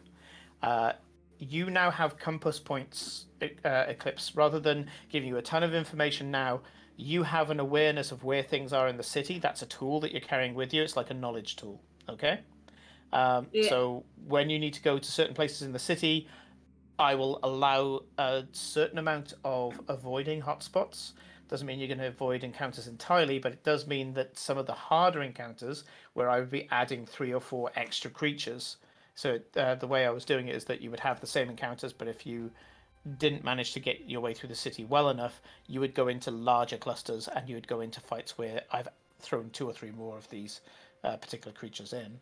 Um, you'll be able to avoid them completely or go into encounters where I'm taking creatures away. Yep. To re- uh, This is best way that I can represent this siege. Cora has her books, and how big was your commune going to be, Nick? Is it a a now thing or is it a next week thing? Well, I'm I'm not technically here next week. Well, next Well, week not? to everybody else is not next week; it's the week after. Oh yes, of course. Yeah. Time is, is wibbly wobbly time. That's right.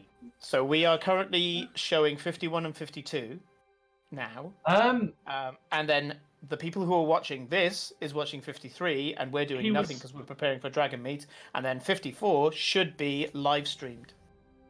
Yes. there is definitely one question that I will want to ask. Um, Ask the question, and we'll decide whether it's the five minutes or not.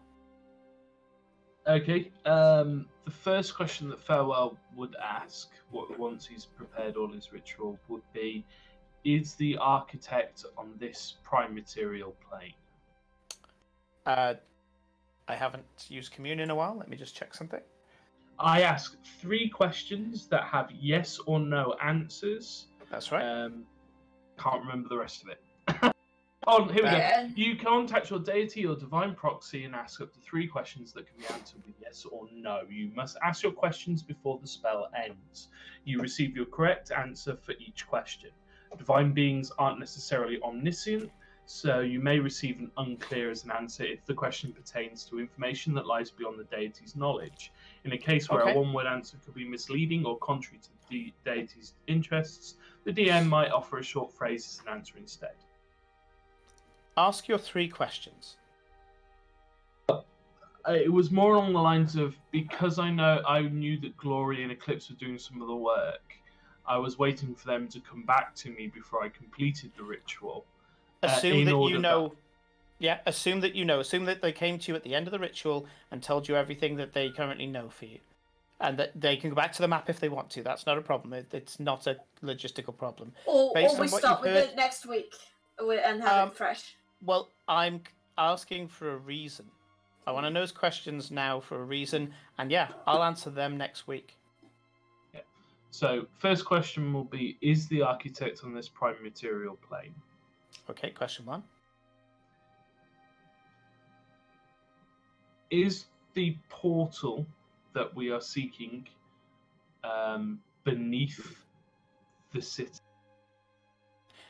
I'm gonna uh, allow you not to He- have that as a He already told us. uh, yeah. thing because Yeah, Uh, Oh. it's already up. Eclipse tells you that it is above ground. That the uh, that the origin, uh, that the major origin, the major rift, is above ground. Ah, sorry, I thought I, I missed that. My That's fine. you I, that. I'm refunding you a question.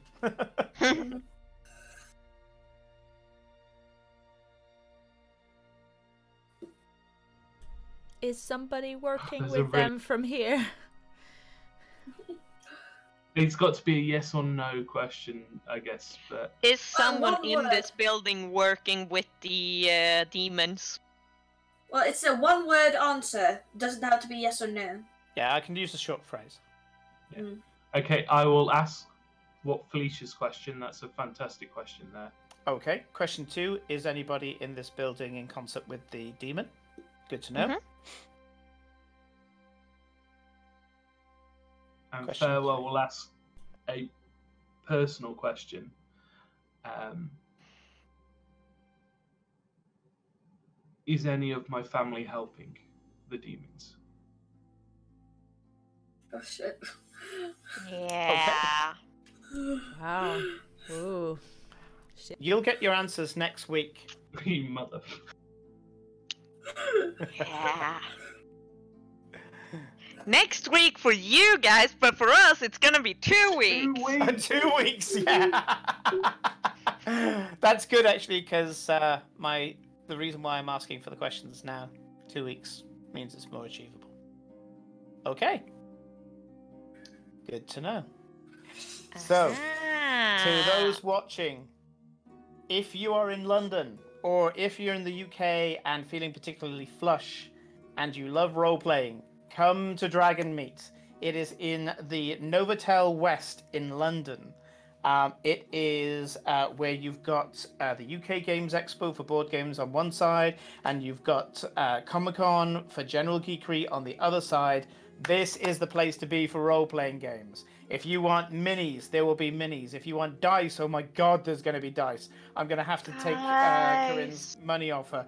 Uh, there is going to be uh, other paraphernalia, dice trays, uh, all sorts of stuff, all, all sorts of um, role playing boxes, and most importantly, Podcast Zone UK, where we will be there. Um, we will be doing the podcast in one of the recording rooms that they've set aside for us. We will not be doing it on a stage because, yeah, that's, that's a little step too far this year. Um, but we will be recording an hour and a half, or probably less by the time we get in and set everything up. Uh, roughly an hour's worth of pilot podcast, which I intend to edit and send out on the day. That's the point of doing it, is to show how easy that first step is, and it's okay to not be prepared, not know the system well enough. Um, you know, Kate's never played uh, Star Wars RPG before, neither has Nick. I don't think Sean has. Um, and so, uh, yeah, it it's one of those things where as long as you just get on that journey, that's all that matters, and that's what we're going to be showing. Uh, Kate at three o'clock, or is it four o'clock? At five o'clock, they moved it. Five o'clock. Okay, Five they- They, moved it. Okay. At five o'clock, Kate will be doing a panel at Dragon Meet as well, which is representation in fantasy settings, and uh, yeah, it, it's going to be fantastic. And if anybody by chance has seen this episode and uh, the last two as well, because man, there's been a lot going on, come and tell us. Come and tell us because that would be great. If you're there at uh, at Dragon Meet and you've seen our episodes, um, then that would be fantastic. But for the rest of you, uh, Rattles, I do apologize if last week, which is now this week for us, but last week, uh, I apologize if you ended up sat down for six hours watching episode um, uh, 51 and 52 back to back. I apologize to Shrine, I think is probably what I need to apologize for. But if you do end up binge watching, both respect and I'm sorry, we will try not to do double bills of three hours apiece. Um, but uh, we love you all, and uh, welcome to anybody who has tried out one of these episodes um, as a result of Dragon Meet as well. And we will see you at Dragon Meet or next week, and soon live on Twitch. Good night. Bye bye.